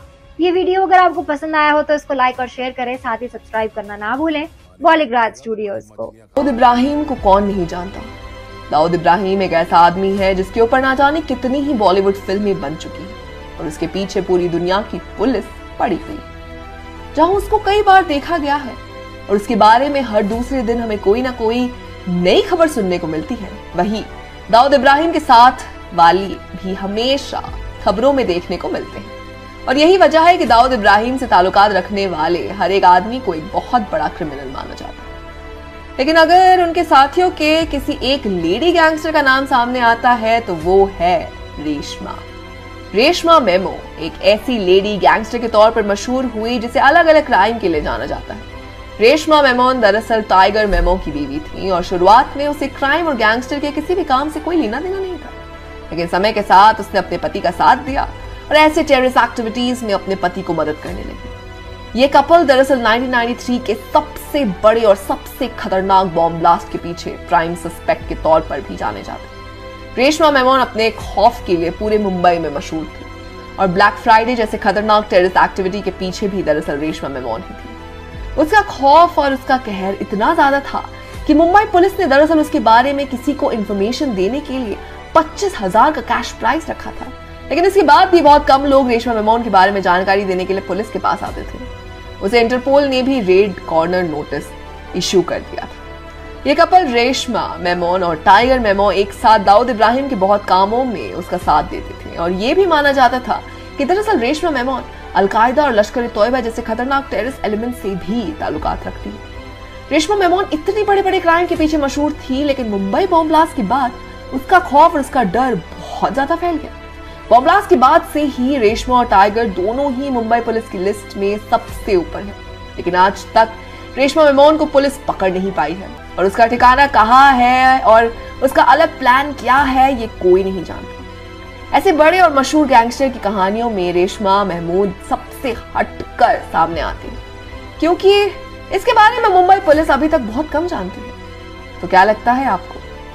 क्या के चैप्टर थ्री में हमें किसी ऐसे ही गैंगस्टर के बारे में देखने को मिलेगा। ऐसी कहानियाँ हमें बहुत देखने को मिलती हैं और इस फ़िल्म के लिए लोगों के बीच भारी एक्साइटमेंट और जोश देखने को मिल रहा था। अब ये फ़िल्म जब भी थिएटर्स में आएगी, क्या धमाका होगा? ये तो फ़िल्म के रिलीज़ होने के बाद ही पता चलेगा। अब हम तो इस फ़िल्म को देखने के लिए काफ़ी एक्साइटेड हैं और आप? 1993 में हुए मुंबई बॉम्ब धमाके का दोषी याकूब मेमन को 2015 में फांसी की सजा सुनाई गई थी। याकूब मेमन का जन्म 30 जुलाई 1962 को मुंबई में हुआ था। वो अब्दुल रजाक मेमन के छह बेटों में से तीसरा था। याकूब अपने पूरे परिवार में से सबसे ज़्यादा पढ़ा लिखा था। याकूब इंग्लिश मीडियम के स्कूल से पास हुआ और हायर स्टडीज़ के लिए बीकॉम की डिग्री हासिल की। बाद में वो 1990 में चार्टेड अकाउंटेंट, यानी कि सीए बन गया। 1991 में याकूब ने अपने बचपन के दोस्त चेतन मेहता संग मेहता एंड मेमन एसोसिएट्स की शुरुआत की। ये कंपनी असल में चार्टेड अकाउंटेंसी फर्म थी। हालाँकि दोस्त के अलग हो जाने के एक साल बाद याकूब ने अपनी खुद की firm A R and sons खोली, जो कि उसके पिता के नाम पे थी। ये कंपनी इतनी सफल रही कि याकूब को best chartered accountant of the year का अवार्ड मेमन कम्युनिटी द्वारा मिला। जल्द ही याकूब ने अपनी कंपनी तेज रात इंटरनेशनल की शुरुआत की, जो कि पर्शियन गल्फ में और मिडिल ईस्ट में मीट के प्रोडक्ट्स की एक्सपोर्ट में शामिल थी। एक एंटरप्रेन्योर के तौर पर मिली सफलता के बाद याकूब ने माहिम दरगाह के पास स्थित एक बिल्डिंग के छह फ्लैट्स में इन्वेस्ट किया। याकूब अपने भाई टाइगर मेमन और दाऊद को फाइनेंशियली असिस्ट करता था। 1993 में पूरी मुंबई धमाके से हिल गई थी। इस धमाके में 257 लोगों की जाने गई थी, जबकि 700 से भी अधिक लोग इस धमाके की वजह से घायल हुए थे। इस धमाके का मेन मास्टरमाइंड दाऊद इब्राहिम और याकूब मेमन का भाई टाइगर मेमन था। इस धमाके के बाद जहाँ टाइगर देश छोड़ के पाकिस्तान भाग गया था, वहीं दूसरी ओर पुलिस ने 1994 में याकूब को पूरे परिवार के साथ गिरफ़्तार कर लिया था। याकूब के खिलाफ हमले में मदद करने और उकसाने के लिए केस फ़ाइल की गई। याकूब पर दोषियों के लिए फ़्लाइट की टिकट बुक कराना, हमले में शामिल होने वाली गाड़ियों का इंतज़ाम करना जैसे आरोप लगे। याकूब के द्वारा की गई दया की अपील के बावजूद कोर्ट ने उसे 2007 में फांसी की सजा सुनाई। याकूब को इस घटना के 22 साल बाद, यानी कि 30 जुलाई 2015 को फांसी की सजा सुनाई दी गई। याकूब को जिस दिन फांसी दी गई, उसी दिन उसका जन्मदिन भी था। तो ये कहानी थी 1993 के मुंबई हमले के आरोपी याकूब मेमन की। एक सीए का ऐसा अनोखा अंत शायद ही किसी ने सोचा होगा। फिर दोस्तों, क्या कहना है आपका इस वीडियो के बारे में? में एक से बड़े एक माफिया हुए हैं, लेकिन पाब्लो एस्कोबार जैसा कोई नहीं। पाब्लो एस्कोबार पूरी दुनिया में किंग ऑफ़ कोकेन के नाम से कुख्यात था। पाब्लो इतना शातिर और खतरनाक था कि दूसरे खूंखार तस्कर भी उसको हफ़्ता देते थे। इतना ही नहीं, दुश्मनों ने पाब्लो को मारने के लिए 16 अरब रुपए खर्च कर डाले थे। पाब्लो ने 1970 के दशक में कोकेन के कारोबार में कदम रखा था। इस दौरान उसने अन्य माफियाओं के साथ मिलकर मेडलिन कार्टेल बनाया। पाब्लो ने ड्रग्स के धंधे में काफ़ी पैसा कमाया था। अस्सी के दशक में दुनिया भर के करीब 80 फ़ीसदी बाज़ार पर पाब्लो के मेडलिन कार्टेल को भागीदार थे। इतने बड़े अवैध धंधे के कारण एस्कोबार के काफ़ी दुश्मन भी थे। पाब्लो को मरवाने के लिए उसके दुश्मनों ने करीब 16 अरब रुपए खर्च कर डाले, लेकिन उन्हें कोई सफलता नहीं मिल सकी। पाब्लो एस्कोबार के कारोबार में जिस किसी ने भी टांग अड़ाई पाब्लो ने उसकी हत्या करवा दी। अपने दुश्मन की कार को बम से उड़ाना हो या फिर किसी बड़े नेता की जान लेना पाब्लो के लिए ये सब मामूली बात हो गई थी। उसने पैसेंजर से भरी फ़्लाइट तक को उड़वा दिया था। इतना ही नहीं, कोलंबिया का राष्ट्रपति बनने के लिए उसने सुप्रीम कोर्ट तक को बम से उड़ा दिया था। बताया जाता है कि पाब्लो ने करीब 4000 लोगों की हत्या करवाई थी, जिसमें करीब 200 न्यायाधीश और 1000 पुलिस, पत्रकार और सरकारी अधिकारी शामिल थे। पाब्लो एस्कोकार के बारे में कहा जाता है कि उसने ड्रग्स के धंधे में इतना पैसा कमा लिया था कि उसकी पूरी कमाई का 10 फ़ीसदी हिस्से को तो यूँ चूहे ही कुतर गए थे। फिर उन्हें दीमक लग गई थी। एस्कोबार के पास इतना कैश था कि वो हर महीने करीब ढाई हज़ार अमेरिकी डॉलर तो सिर्फ़ रबर बैंड पर ही खर्च कर देता था। पाब्लो की ताकत का अंदाज़ा इस बात से लगाया जा सकता है कि उसने कोलंबियाई सरकार पर दबाव बनाकर अपने लिए खुद ही खास जेल तैयार कराई थी। इस दौरान उसने शर्त रखी थी कि जेल के कुछ किलोमीटर तक पुलिस नहीं आ सकती। पाब्लो एस्कोबार अमेरिका की जेलों में जाने से डरता था। वो चाहता था कि उसकी ज़िंदगी के आखिरी दिन अमेरिका की जेलों में ना बीते। इसके लिए पाब्लो ने अमेरिका के सामने कोलंबिया के पूरे कर्ज को उतारने की पेशकश तक कर दी थी। बदले में उसने प्रत्यर्पण कानून में बदलाव की मांग भी की थी। पाब्लो को 44 साल की उम्र में गोली मार दी गई थी। लेकिन कुछ लोग मानते हैं कि उसने खुद को गोली मार ली थी, क्योंकि वो किसी भी कीमत पर अमेरिका की जेल में नहीं जाना चाहता था। और ऐसी ही एक गैंगस्टर की कहानी लेकर आ रहे हैं विजय करिंगंदूर अपनी अगली फ़िल्म के जी एफ़ थ्री में, जिसमें एक गैंगस्टर गोल्ड की इलीगल स्मगलिंग करके एक बहुत बड़ा कारोबार खड़ा कर लेता है। स्वागत है आप सभी का हमारी आज की इस वीडियो में। ये कहानी है दोस्तों जर्मनी के नामी गैंगस्टर कार्लोस लेदर की। 1949 में जन्मे कार्लोस लेदर के पिता एक इंजीनियर थे और उसकी माँ हाउसवाइफ थी।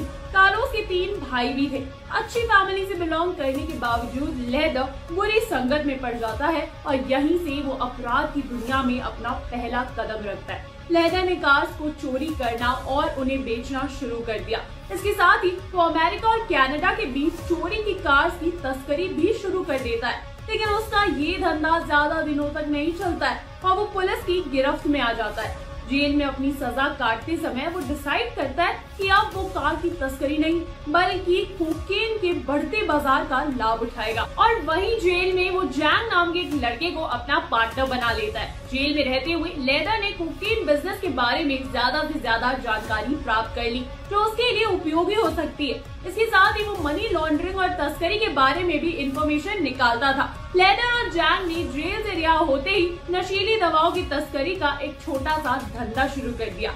इसके लिए उन्होंने दो अमेरिकन लड़कियों को हायर किया, जो उनके लिए कोकेन को एक जगह से दूसरी जगह ट्रांसफ़र करती थी।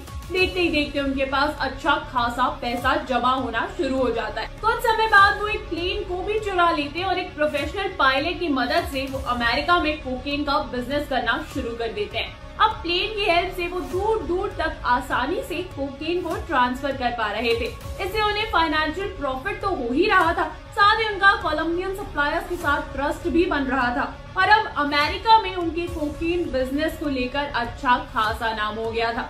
1970 के दशक में Los Angeles, Las Vegas New York Miami जैसे और भी कई शहरों के लोग ड्रग्स को एक नेसेसिटी की तरह लेने लगे थे और इसलिए कोकेन की मांग और भी बढ़ गई थी।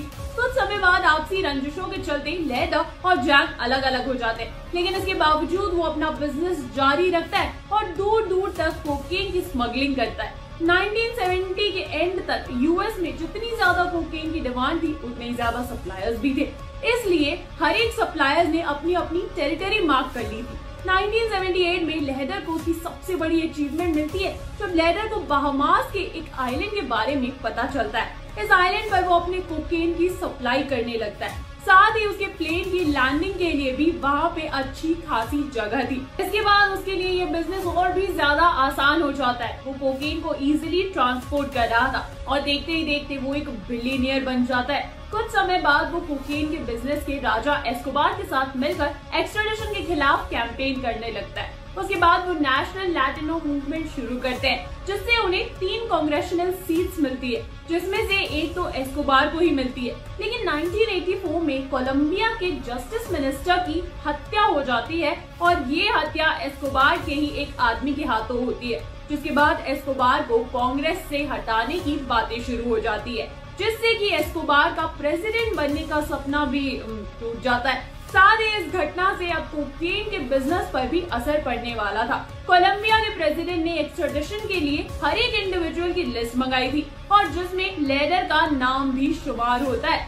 सरकार लेदर के सभी बैंक अकाउंट्स को सील कर लेती है और वो बिलियनियर से सीधा आ जाता है बैंक वाली लिस्ट में। जी हाँ दोस्तों, पुलिस से बचने के लिए लेदर जंगलों में छुप जाता है, जहाँ उसकी खाने पीने की व्यवस्था एस्कोबार ही कराता है।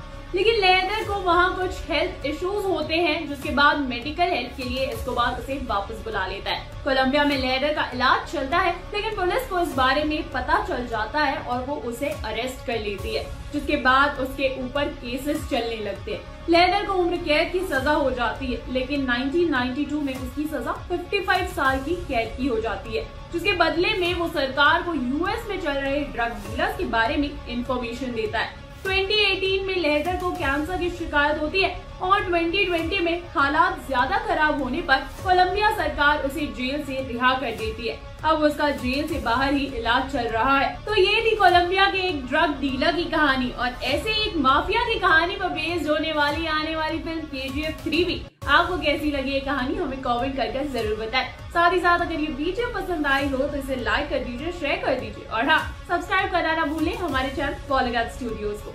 और हाँ दोस्तों, मैं अंजलि जाते जाते आपको एक गुड न्यूज़ तो दे दूँ। अगर आप भी हमारे साथ काम करना चाहते हैं तो डिस्क्रिप्शन बॉक्स में दिए गए जॉब लिंक पर क्लिक करें और इस अपॉर्चुनिटी का भरपूर फ़ायदा उठाएँ।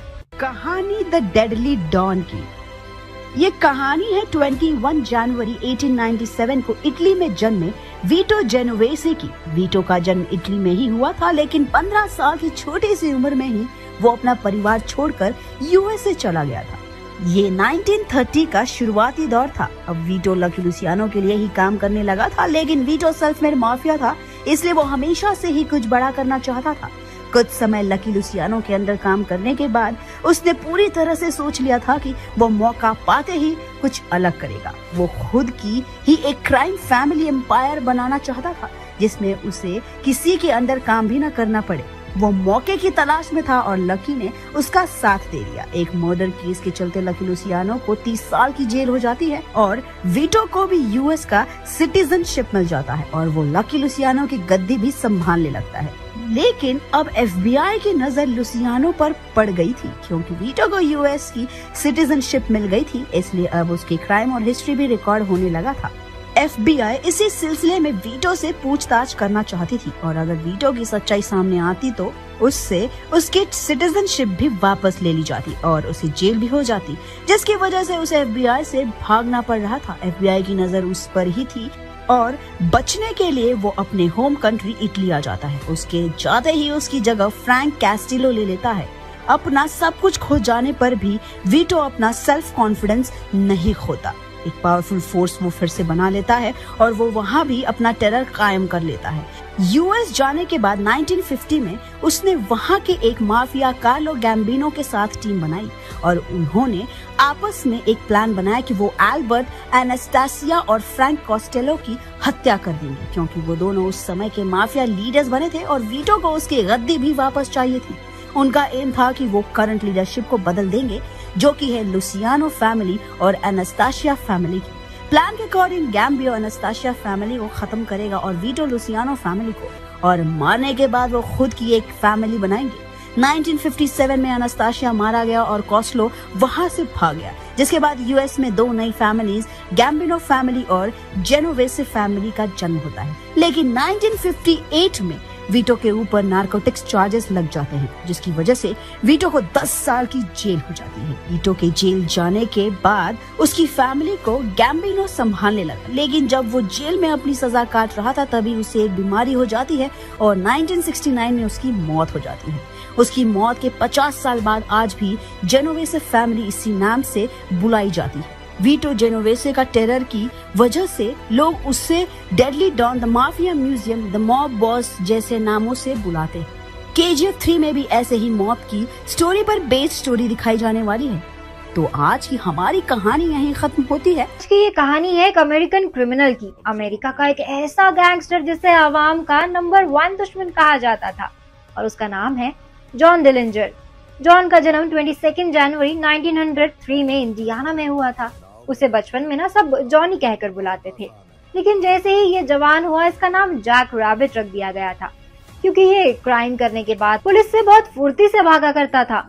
जॉन बचपन से ही छोटी मोटी चोरियाँ करता रहता था, जिसके बाद उसके पिता ने ना उसे नेवी में भर्ती कर दिया। कुछ महीने वहाँ सीखने के बाद ना उसका मन वहाँ नहीं लगा और एक दिन सबसे छुप कर ना वो वहाँ से भी भाग जाता है। फिर वापस अपने होम टाउन आ जाता है। वापस आने के बाद उसने 1924 में बड़े अपराध की तरफ़ अपना पहला कदम रखा। काफ़ी समय से उसकी नज़र इंडियाना के ग्रोसरी शॉप पर थी। उसने सोचा कि अब वो उस ग्रोसरी शॉप को ना अपना निशाना बनाएगा। और एक दिन मौका पाते ही उसने अपने कुछ दोस्तों के साथ उस ग्रोसरी शॉप को ना लूट लिया। पर उसकी पहली लूट में किस्मत में ना उसका साथ नहीं दिया।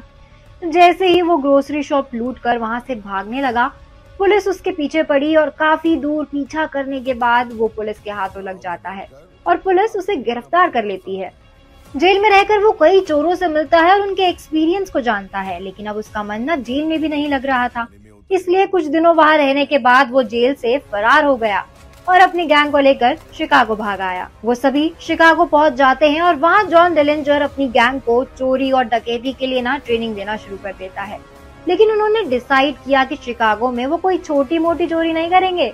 अब वो सीधे बैंक पर अपना हाथ साफ़ करेंगे। जॉन डिलेंजर उन सभी को बैंक लूटने की ट्रेनिंग देने लगा और फिर धीरे धीरे करके ना वो अमेरिका के सभी छोटे बड़े बैंक्स को लूटने लगे। और कुछ ही सालों में जॉन डिलेंजर और उसका गैंग अमेरिका का बैंक लूटने वाला सबसे बड़ा गैंग बन गया। 1924 में जॉन डिलिंजर की मुलाकात बैरल से होती है। और उसे ना वो बहुत पसंद आती है, जिसके बाद वो उससे शादी कर लेता है। लेकिन शादी के बाद उनके एक्सपेंसेस बढ़ने लगे थे। चोरी और लूट की भी कोई कंफर्म टाइमिंग नहीं होती थी। उसे महसूस हुआ कि उसके पास परमानेंट इनकम का कोई भी ज़रिया नहीं है। इसलिए उसने अब ये डिसाइड किया कि अब वो अपनी वाइफ की जरूरतों को पूरा करने के लिए ना एक परमानेंट इनकम का इंतज़ाम करेगा और उसने खुद के लिए एक नौकरी ढूंढनी शुरू कर दी। शुरुआती समय में तो जॉन को कहीं नौकरी नहीं मिल रही थी, क्योंकि वो ना ही ज़्यादा पढ़ा लिखा था और ना ही उसके पास कोई खास स्किल थी। लेकिन फिर, बहुत ढूँढने के बाद ना उसे एक सोफा बनाने वाली दुकान में नौकरी मिलती है। उसका काम था लकड़ियों पर गद्दी लगाना। इसी दौरान उसकी मुलाकात कुछ बास्केटबॉल प्लेयर से होती है। उनको खेलता हुआ देख जॉन डिलेंजर का इंटरेस्ट बास्केटबॉल में बढ़ता है और वो उनके साथ खेलने लगता है। उनके बीच गहरी दोस्ती हो जाती है। 1924 में उसके ही बास्केटबॉल टीम के एक मेंबर ने उसे बताया कि हर रोज एक दुकानदार पैसों से भरा हुआ बैग लेकर ना उनके ग्राउंड के सामने से गुजरता है। पूरे दिन अच्छा खासा माल कमाने के बाद वो शाम को पैसे लेकर अपने घर जाता है।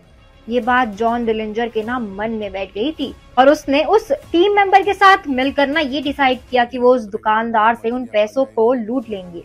प्लान के अकॉर्डिंग जॉन उसके बैग को छीनेगा और उसकी बास्केटबॉल टीम का जो दूसरा प्लेयर था ना, कुछ दूरी पर कार लेकर खड़ा होगा। और जैसे ही जॉन डिलेंजर पैसे छीनकर उसके पास आएगा, वो कार को तेज़ी से चला देगा। सो so दैट पैसा लेते ही ना वो गाड़ी में बैठ जाए और वहाँ से फरार हो जाए। जॉन के पास एक पिस्टल भी थी।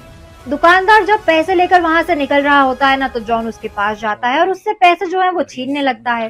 दुकानदार जो है वो घबरा जाता है। और वो जॉन से ना हाथापाई करने लगता है। इसी दौरान जॉन की जो बंदूक होती है ना, वो ज़मीन पर गिर जाती है।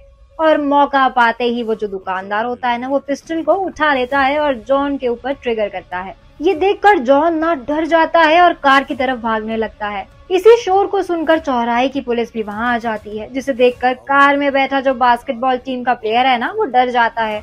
उसे लगता है कि अगर पुलिस ने उसे पकड़ लिया तो उसका करियर खत्म हो जाएगा। साथ ही साथ उसे जेल में भी डाल दिया जाएगा। इसी डर से वो कार लेकर भाग जाता है। लेकिन जॉन जो है, वो पुलिस की गिरफ्त में आ जाता है, जिसके बाद जॉन को कोर्ट 20 साल की सजा सुना देता है। जेल में उसकी मुलाकात हैरी और होमर से होती है। साथ रहते उनके बीच ना अच्छी दोस्ती हो जाती है। इसी दौरान 1933 में जॉन की सौतेली माँ की मौत हो जाती है, जिसके बाद उसे कुछ समय के लिए ना कोर्ट द्वारा बेल मिल जाती है। लेकिन उसने इस बेल का भी ना पूरा फ़ायदा उठाया और बाहर आते ही बहुत सारे हथियार और असलमों को इकट्ठा करना शुरू कर दिया। जेल में रहने के दौरान उसने अपना अच्छा खासा कांटेक्ट वहाँ बना ही लिया था और उन्हीं सोर्सेज के ज़रिए ना उसने अपने दोस्त हेनरी और होमर के पास जेल में उन हथियारों को पहुँचा दिया, जिसके बाद वो दोनों भी जेल से भागने में कामयाब हो गए और अब तीनों ने मिलकर ना एक गैंग बना दी, जिसका नाम डिलेंजर गैंग था। उन्होंने बहुत सी बड़ी बड़ी दुकानों को लूटा और लूटने के बाद बड़ी ही आसानी से वो वहाँ से फरार हो जाते थे। उनकी इस लूटपाट से न सरकार और नागरिक दोनों ही परेशान थे। पुलिस काफ़ी समय से जॉन डिलेंजर की इस गैंग को न पकड़ना चाह रही थी, लेकिन हर बार वो लोग बच निकलने में कामयाब हो जाते थे। अब ये case federal bureau of investigation यानी कि एफबीआई को सौंपा गया। पहले तो एफबीआई ने जॉन को पब्लिक एनिमी नंबर वन का खिताब दे दिया। और फिर जॉन को पकड़ने के लिए ना अपने सोर्सेज को लगा दिया। उन्होंने जॉन की वाइफ के दोस्त से कांटेक्ट किया, जिसके ज़रिए उन्हें ये पता चला कि जॉन और उसकी वाइफ 22 जुलाई 1934 को मूवी देखने जाने वाले हैं। इसी मौके का फ़ायदा उठाते हुए पुलिस भी वहाँ पहुँचती है। जॉन शाम को अपनी वाइफ के साथ जब मूवी थिएटर से बाहर आता है तो सामने खड़ी पुलिस मौका देखते ही उस पर फायरिंग शुरू कर देती है। और बस इसी तरह अमेरिकन पब्लिक के इस एनिमी की मौके पर ही मौत हो जाती है। बताया जा रहा है कि इस बार के जी एफ़ थ्री में सुपरस्टार यश, जॉन डिलेंजर का ही किरदार निभाते नज़र आएँगे। और फ़िल्म में उन्हीं की कहानी को दर्शाया जाएगा। और ऐसी ही एक माफिया की स्टोरी से इंस्पायर्ड होगी के जी एफ़ थ्री की स्टोरी और आज की हमारी ये कहानी यही होती है खत्म। आपको ये कहानी कैसी लगी, हमें कमेंट सेक्शन में ज़रूर बताएँ। आज के लिए बस इतना ही। मैं पूर्णिमा लेती हूँ, अब आप सभी से इजाज़त। ये वीडियो पसंद आया हो तो इसको लाइक और शेयर करें, साथ ही सब्सक्राइब करना ना भूलें बॉलीग्राड स्टूडियोज को। नमस्कार, स्वागत है आप सभी का बॉलीवुड स्टूडियोज में। फ़ोन की घंटी बजती है और सामने से आवाज़ आती है। अन्ना, यहाँ से जवाब जाता है, किसका आदमी है? ठीक है। मेरे आने तक उसे ज़िंदा रखना। ये लाइन सुनने के बाद आपके भी जहन में ज़रूर किसी न किसी गैंगस्टर का ख्याल आया होगा। या मैं कहूँ, एक असली गैंगस्टर का ख्याल। एक दौर था जब फ़िल्में गैंगस्टर्स के इर्द गिर्द घूमा करती थी। उसमें आपको ड्रामा और सस्पेंस तो मिलता ही था, लेकिन साथ ही साथ मिलता था ओरिजिनल एक्शन जिसे आप महसूस कर सके। हॉलीवुड में गैंगस्टर फ़िल्मों का ट्रेंड काफ़ी पुराना है, लेकिन भारत में ऐसी फ़िल्मों का ट्रेंड करीबन साल 1950 से शुरू हुआ था। उसके पहले फ़िल्मों में गैंगस्टर होता था, लेकिन फ़िल्म गैंगस्टर की नहीं होती थी। 1989 में रिलीज़ हुई फ़िल्म परिंदा और 1998 में रिलीज़ हुई फ़िल्म सत्या को कल्ट क्लासिक गैंगस्टर फ़िल्म कहा जा सकता है। लेकिन ये भी कहना गलत नहीं होगा कि इन दो फ़िल्मों के बाद दर्शकों को कुछ ऐसा क्लासिक नहीं देखने को मिला है। हालाँकि अनुराग कश्यप ने फ़िल्म गैंग्स ऑफ़ वसीपुर से काबिल तारीफ़ कोशिश की, लेकिन शायद एक गैंगस्टर फ़िल्म बनाने से थोड़ा सा चूक गए। वहीं वेब सीरीज़ में सैक्रेड गेम्स और मिर्जापुर ने दर्शकों को वही खून जगाया है, जिसका नशा चढ़ जाए तो उतरना थोड़ा मुश्किल होता है दोस्तों। लेकिन ये सुपरहिट वेब सीरीज़ एक बड़ा सवाल अपने साथ में लाती है कि क्या बड़े पर्दे पर गैंगस्टर्स की मौत हो चुकी है? फिर रिलीज़ हुई साउथ की बेहतरीन फ़िल्म जैसे के जी एफ़ के जी एफ़ टू पुष्पा, जिसने हमें रियल मॉन्स्टर से मिलवाया, जिन्होंने एक्शन ही नहीं, बल्कि डायलॉग बाजी और मारपीट में एकदम सेवेंटीज की फ़िल्मों के गैंगस्टर्स की याद दिला दी। लेकिन गैंगस्टर्स फ़िल्मों की शुरुआत इंडिया में कैसे हुई? तो बता दें कि बात साल 1947 के आसपास की है, जब पूरे देश में ही धीरे धीरे लोगों ने मुंबई की ओर रुख करना शुरू कर दिया था। छोटे शहर में बढ़ती बेरोजगार आबादी ने क्राइम की शुरुआत की।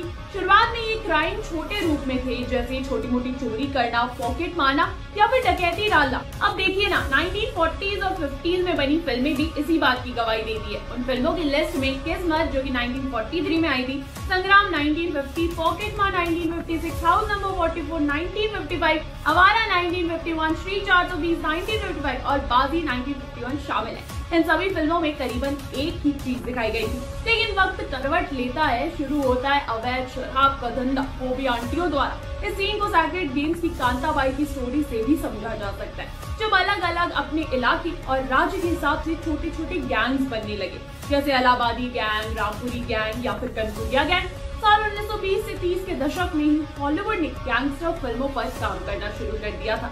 यहाँ तक कि उस वक्त की उनकी फ़िल्मों में क्राइम कैसे आयोजित होता है, इस बात की झलक भी दिखने लगी थी। एक ही तरह का सूट महँगी गाड़ियाँ और बंदूकें, ये हॉलीवुड गैंगस्टर फ़िल्मों का पैटर्न बन गया था।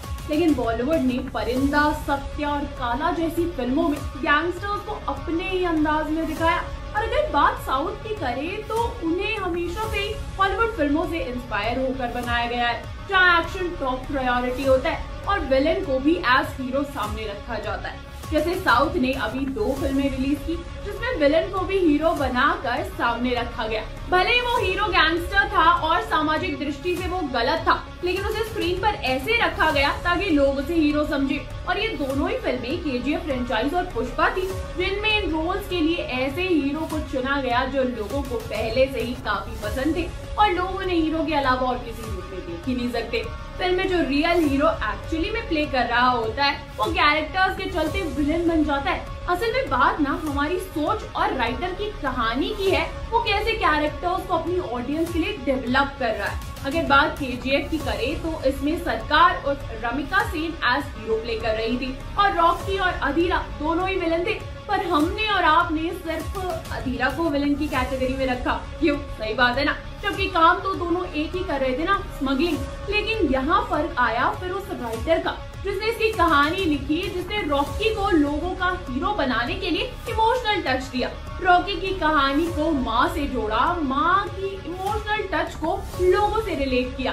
रॉकी को गरीबों का मसीहा बनाया, एक सच्चा आशिक भी बनाया, जिसने एक विलन को हीरो की कैटेगरी में लाकर खड़ा कर दिया। और ये कमाल किसी और का नहीं, उसी राइटर का था, जिसने फ़िल्म की कहानी को लिखा, जो है हमारे प्रशांत वीर। तो फ़िल्म की कहानी और हीरो विलन ना सिर्फ़ एक राइटर ही क्रिएट कर सकता है। अगर राइटर हीरो में अच्छी क्वालिटीज इंक्लूड नहीं करता तो हो सकता है हमें रॉकी द मॉन्स्टर नहीं मिलता। के जी थ्री की कहानी भी ऐसी ही इमोशनल टच पर लिखी जाएगी जो लोगों से कनेक्ट कर पाए। आपको क्या लगता है, क्या प्रशांत नील कहानी को एक अच्छा मोड़ दे पाएँगे? हमें कमेंट्स कर ज़रूर बताएँ दोस्तों। और हाँ अगर ये वीडियो पसंद आई हो तो इसे लाइक कर दीजिए शेयर कर दीजिए सब्सक्राइब कर लीजिए हमारे चैनल बॉलीगार्ड स्टूडियोज को। मैं अंजलि लेती हूँ आप सभी से इजाज़त, मिलूँगी आपको नेक्स्ट वीडियो में भाई। क्या रॉकी को मिलेगा धोखा? किसकी होगी जीत? तो दोस्तों, जैसा कि हमने अपनी पिछली वीडियोस में देखा कि कैसे अब के पर हाथ जमाने के लिए दो टीम्स में लड़ाई होने वाली है, सलार रॉकी और रमिका बगीरा। तो चलिए अब इतने दिनों से चलते आ रहे इस सस्पेंस को तोड़ें और देखें आखिर किसकी होगी जीत। लेकिन वीडियो में आगे बढ़ने से पहले आपके लिए एक बड़ी खबर है। अगर आप भी सिनेमा इंडस्ट्री से जुड़ना चाहते हैं और काम करना चाहते हैं तो डिस्क्रिप्शन बॉक्स में दिए गए जॉब लिंक पर क्लिक करें और इस अपॉर्चुनिटी का भरपूर फ़ायदा उठाएँ। हेलो दोस्तों पॉलीग्राफ स्टूडियो से मैं हूँ मासूमी और आज हम बात करेंगे 2022 की one of the most awaited movies के चैप्टर थ्री के बारे में। अब बगीरा और रमिका के एक हो जाने के बाद रमिका सबसे पहले अपनी प्रधानमंत्री की शक्तियों का इस्तेमाल करके सबको ऑर्डर देती है कि के को गिरा दिया जाए। जब वो के को गिराने पहुँचते हैं तो पिछली बार की तरह उन्हें वहाँ कोई सोना नहीं मिलता। लेकिन इस बार रमिका भी रॉकी की चाल से वाकिफ है और वो पहले ही रॉकी का मुंबई में इंतज़ार कर रही है। रॉकी जैसे ही मुंबई में अपनी गोल्ड फ़ील्ड में जाता है, रमिका पहले ही वहाँ उसका इंतज़ार कर रही होती है। रॉकी उसे देख कर कहता है, मैं जानता था तुम यही होगी। बेवकूफ़ नहीं हो तुम। रमिका कहती है हाँ बेवकूफ़ तो तुम हो रॉकी। हर बार तुम्हारी जीत नहीं हो सकती। इस बार तुम गए। और वो अंदर से रॉकी के सभी गोल्ड फील्ड्स वाले कर्मचारियों को लेकर आती है जो अब रमिका की तरफ़ हो जाते हैं। रॉकी ये देखकर हैरान हो जाता है, पर कहता है कर लो जितने लोगों को अपनी तरफ़ कर सकती हो, मुझे फ़र्क नहीं पड़ता। रमिका कहती है, अभी तक नहीं पड़ा था ना, अब पड़ेगा। और वो पीछे से सलार को बाहर बुलाती है। सलार भी रमिका की तरफ़ हो जाता है। रॉकी ये देखकर हैरान हो जाता है, पर वो ऐसी परिस्थिति के लिए भी तैयार था। वो एकदम से उल्टी दिशा में भागने लगता है। तीनों उसका पीछा करते हैं और रॉकी भागते भागते गेटवे ऑफ़ इंडिया पर आ जाता है और वहाँ एक मोटर बोट लेकर समुन्द्र में सवार हो जाता है। बाकी तीनों भी उसके पीछे ऐसा ही करते हैं। लेकिन रॉकी मोटर बोट में सवार होने के बाद एक शिप पर चढ़ जाता है, जिसमें सारा सोना होता है। वो तीनों भी ऐसा ही करने की कोशिश करते हैं और सलार और बगीरा तो शिप में आ जाते हैं, लेकिन रमिका वहाँ नहीं आ पाती। इसके बाद सलार बगीरा और रॉकी का आमना सामना होने ही वाला होता है कि ऊपर से हेलीकॉप्टर आकर बगीरा और सलार को मार डालता है। रमिका वहाँ खड़ी रह जाती है। रॉकी कहता है, बड़ी बेवकूफ़ निकली तुम रमिका। तुम में तो इतनी अकल होनी चाहिए थी। कहा था ना, चाहता नहीं जंग हो, लेकिन अगर होगी तो जीतूँगा मैं ही। और वो अपना सारा सोना हेलीकॉप्टर में लेकर फरार हो जाता है। और यही कहानी का एंड है। पर दोस्तों, जहाँ आपको लगेगा ये कहानी का अंत हो गया है, लेकिन वहीं अभी तो चैप्टर फोर भी आने वाला है, जिसमें पता चलेगा कि कौन था रॉकी का ये साथी। आज के लिए इतना ही। ऐसी ही और इंटरेस्टिंग अपडेट्स के लिए जुड़े रहिए हमारे साथ और सब्सक्राइब करें हमारे चैनल बॉडीग्राफ स्टूडियोज को। रॉकी का प्लान क्यों? समुद्र में ही गया रॉकी। किसने बचाया? रॉकी को। हेलो मैं हूँ Purnima and welcome to Bollygraph studios जैसा कि हमने लास्ट वीडियो में डिस्कस किया था कि के थ्री की स्टार्टिंग कैसे होने वाली है और कैसे मेकर्स ने के थ्री की एंडिंग में हमें कंफ्यूज किया, जहाँ एक तरफ़ के चैप्टर थ्री का नया ड्राफ्ट ओपन हो रहा था। वहीं दूसरी तरफ़ रमिका सेन रॉकी के उन तीन साल के फॉरेन क्राइम्स की रिपोर्ट देखने जा रही थी। लेकिन असल में ना रॉकी के इन तीन साल के क्राइम्स उसने कभी किए ही नहीं थे। वो सारे क्राइम्स असल में सलार के किए हुए थे, जो उसने यूएस इंडोनेशिया और बाकी के 16 देशों में किए। लेकिन सलार रॉकी के लिए ही काम करता था। तो एट द एंड वो सारे क्राइम्स रॉकी के लिस्ट में ही जुड़ गए। के जी एफ़ थ्री की स्टोरी यहाँ से नहीं, बल्कि वहीं से शुरू होगी, जहाँ से छोड़ी गई थी। यानी समुद्र की गहराई से। और जैसा हमने आपको पहले बताया था कि रॉकी ने समुद्र में सारा सोना सिर्फ़ इसलिए बहाया, क्योंकि वो बस अपनी माँ को दिया वादा पूरा कर रहा था। क्योंकि अधीरा के मरने के बाद रॉकी दिल्ली पहुँचने से पहले ही अपने लोगों को ये काम देकर गया था कि उसकी माँ की कब्र इंडियन ओशन में एग्जैक्ट उसी जगह पहुँचा दी जाए, बिल्कुल समुद्र तल पर, जहाँ चाह कर भी कोई ना जा सके। और उसने ये कैसे किया? तो उस सवाल के तार भी जुड़े हैं रॉकी के उन्हें तीन साल के क्राइम से, या कहें बिज़नेस से। सलार जहाँ रॉकी के गोल्ड को सप्लाई करता था, वहाँ से उसने हाईटेक मशीनरी वेपन्स और बड़े बड़े जहाज़ उठाए थे। जिसमें से कुछ उसके चॉपर्स थे, कुछ शिप्स थे, कुछ प्राइवेट जेट्स और दो सबमरीन इन्हीं में से एक सबमरीन तक पहले वो तबूत पहुँच गई और वहाँ से उसने समुद्र की सतह पर रख दिया। और एट द एंड रॉकी सारा सोना लेकर वहीं पहुँच गया और अपने वादे को पूरा करने के लिए उसने सारा सोना अपनी माँ को सौंप दिया। लेकिन कहीं ना कहीं ना उसका वादा अभी भी अधूरा था, क्योंकि पूरी दुनिया का सोना इकट्ठा करना अभी बाकी था। उसके लिए ना उसे पहले उन 16 देशों के सामने अपने आप को मरा हुआ साबित करना था, जिससे वो बिना किसी झंझट के इंडिया से बाहर भी जा सके और कोई उसके पीछे भी ना आए। इसलिए उसने खुद ही इंडियन नेवी के साथ यूएस और इंडोनेशियन नेवी को एक ही फैक्स भेजा और वहाँ बुला लिया, क्योंकि उनके सामने अगर रॉकी खत्म हो जाता है तो एक बहुत बड़ा खतरा टल जाएगा। अब सवाल ये उठता है कि आखिर रॉकी को वहाँ से बचाने के लिए कौन आने वाला है? क्योंकि उसकी पूरी के की सेना तो अब वहाँ से जा चुकी थी, जिनसे उसका कोई भी कांटेक्ट नहीं था। तो इसका जवाब बहुत ही सिंपल है। रॉकी को वहाँ से बचाने आया था वो, जिसको रॉकी पर सबसे ज़्यादा भरोसा था। सलार। जी हाँ सलार ही था वो। बहुत पहले ही के छोड़ के जा चुका था सलार, और जिसके बारे में इंडियन गवर्नमेंट को कोई खबर भी नहीं थी तो वो बिना किसी की नज़रों में आए, आसानी से रॉकी को बचा सकता था। और यही हुआ। समुद्र में डुबाने के बाद सलार उसकी सबमरीन लेकर वहाँ पहले से ही मौजूद था। ये वही सबमरीन थी जिससे उसने रॉकी की माँ की कब्र को वहाँ रखा था। जहाँ एक तरफ़ सबका ध्यान समुद्र के ऊपर मौजूद रॉकी के शिप पर था, वहाँ समुद्र के अंदर मौजूद उस सबमरीन पर किसी का ध्यान नहीं था। इसी का फ़ायदा उठाकर सलार उस सबमरीन से रॉकी को लेकर निकल गया। लेकिन रुको जरा, क्या कहानी यही खत्म हो गई? बिल्कुल नहीं। क्योंकि ये तो बस कहानी की शुरुआत थी। अभी तो रॉकी की असली स्टोरी शुरू होना बाकी है, जहाँ रॉकी सलार के साथ मिलकर पहली बार अपनी एक टीम बनाएगा। और क्या क्या करेगा, ये हमें देखना अभी बाकी है। बस आप लोगों को ना थोड़ा सा वेट करना पड़ेगा, और फिर हम मिलेंगे बहुत जल्द कहानी के साथ। आज के लिए बस इतना ही। ये वीडियो पसंद आया हो तो इसको लाइक और शेयर करें। साथ ही सब्सक्राइब करना ना भूलें बॉलीग्राज स्टूडियो रॉकी ने बदला प्लान क्यों मिलाया रॉकी ने जिम्मी कार्टर से हाथ? कैसे 16 कंट्रीज़ में मोस्ट वांटेड बना रॉकी?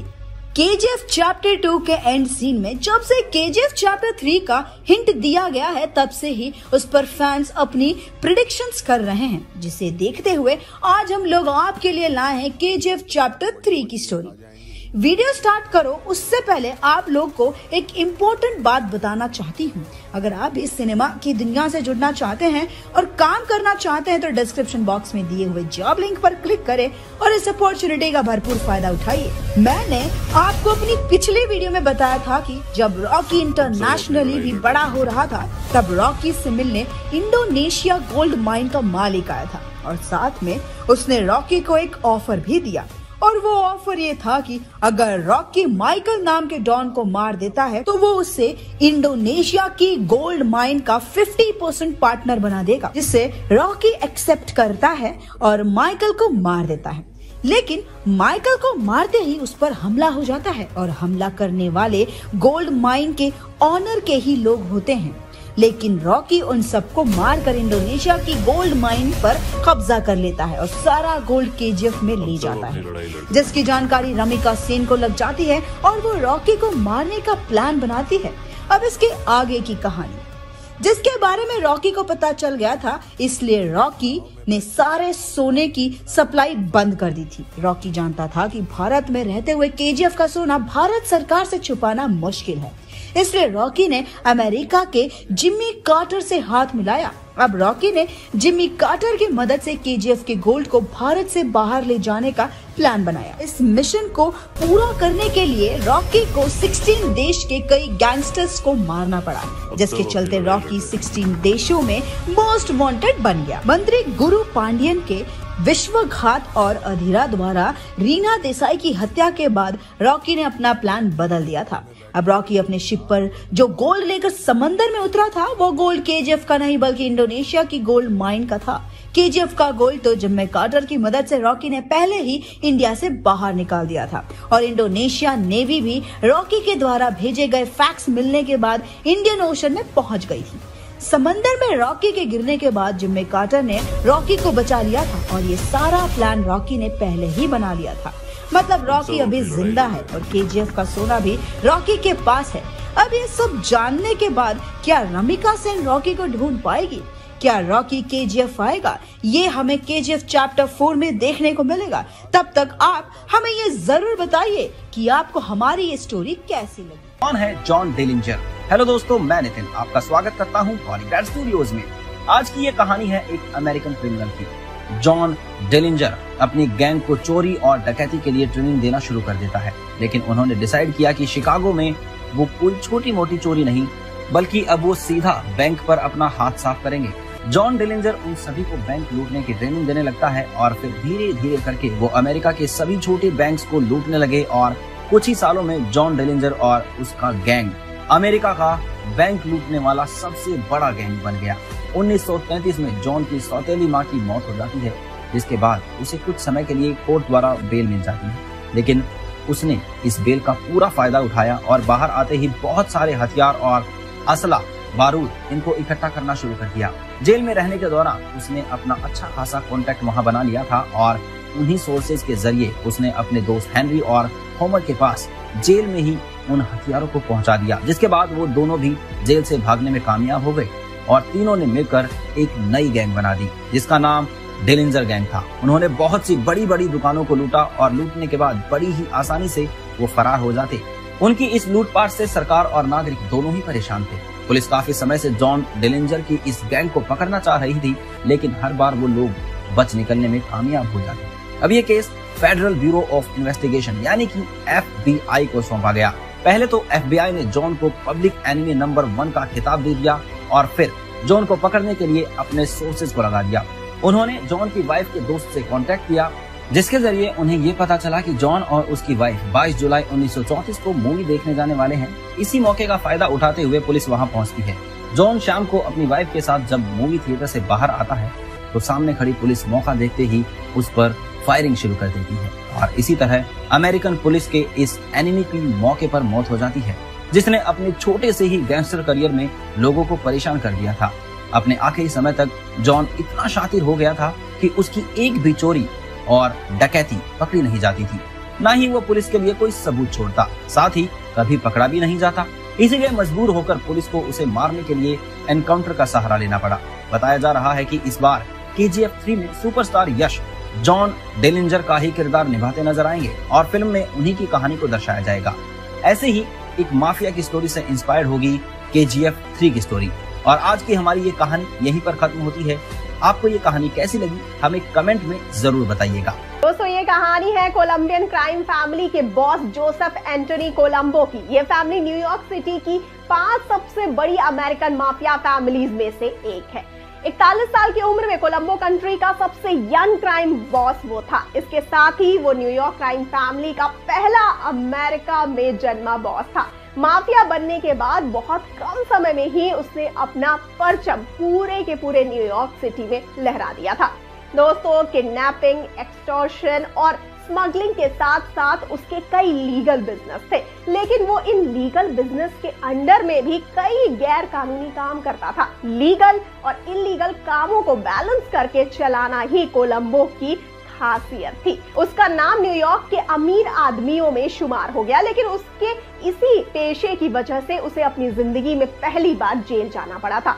1966 में जब अमेरिकन गवर्नमेंट कोलंबो के बैंक बैलेंस को लेकर कुछ शक हुआ तो उसे समन जारी किया गया, लेकिन जब कोर्ट में उसकी पेशी हुई और ग्रैंड जूरी ने उसे, उसके फाइनेंशियल अफेयर्स के बारे में सवाल किया तो उसने कोई भी जवाब देने से साफ़ इनकार कर दिया। ग्रैंड जूरी के कई बार पूछने के बाद वो शांत रहा, जिसका रिज़ल्ट ये निकला कि वो 9 मई 1966 को कोलंबो को 30 दिन की सजा हुई थी। ये पहली बार था जब कोलंबो जेल गया था। 1977 के शुरुआती समय में जोए गालो को जेल से रिहा कर दिया गया और उसके आज़ाद होते ही गालो क्राइम फैमिली और कोलंबो क्राइम फैमिली की पुरानी दुश्मनी का भी आज़ाद होना तय था।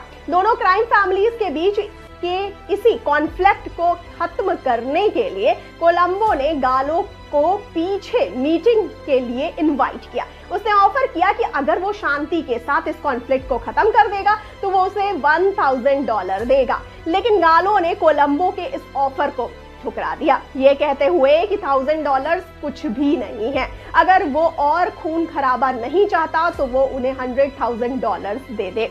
कोलंबो ने इस ऑफ़र के लिए साफ़ मना कर दिया और दोनों क्राइम फैमिलीज़ के बीच ये वॉर गालो की मौत तक कंटिन्यू रही। दोस्तों 28 जून 1971 को Colombo Italian American civil rights league के द्वारा sponsor Italian unity day rally में कोलंबस सर्कल गया था। जब वो वहाँ से बाहर निकल रहा था, तभी वहाँ जेरोमे ए जॉनसन नाम का एक गनमैन कोलंबो के पार तीन गोलियाँ चलाता है, जिसमें से एक जाकर उसके सिर पर लग जाती है। कोलंबो वहीं बेहोश हो जाता है और गिर जाता है। सभी हड़बड़ी में उसे हॉस्पिटल की तरफ़ ले जाते हैं। उस गनमैन को तो कोलंबो के गार्ड्स उसी समय मार देते हैं, लेकिन उस शूटिंग का कोलंबो पर गहरा असर पड़ता है। सर पर गोली लगने की वजह से कोलंबो पैरालाइज हो जाता है, जिसके बाद उसे रूसे वेल्ट हॉस्पिटल में एडमिट किया जाता है। दोस्तों, लगातार दो महीने हॉस्पिटल में रहने के बाद उसकी हालत में थोड़ा सा सुधार आता है थोड़ा सा कुछ गुंजाइश दिखती है और उससे 28 अगस्त 1971 को उसके ही ब्लूमिंग ग्रूव के स्टेट में शिफ्ट किया जाता है। लोगों को लगा था कि अब कोलंबो मर जाएगा, लेकिन उसकी हालत में सुधार होने लगा। उसके दुश्मन खुशियाँ मना रहे थे और उसके क्राइम फैमिली के मेंबर्स दिन रात उसके ठीक होने का प्रे कर रहे थे।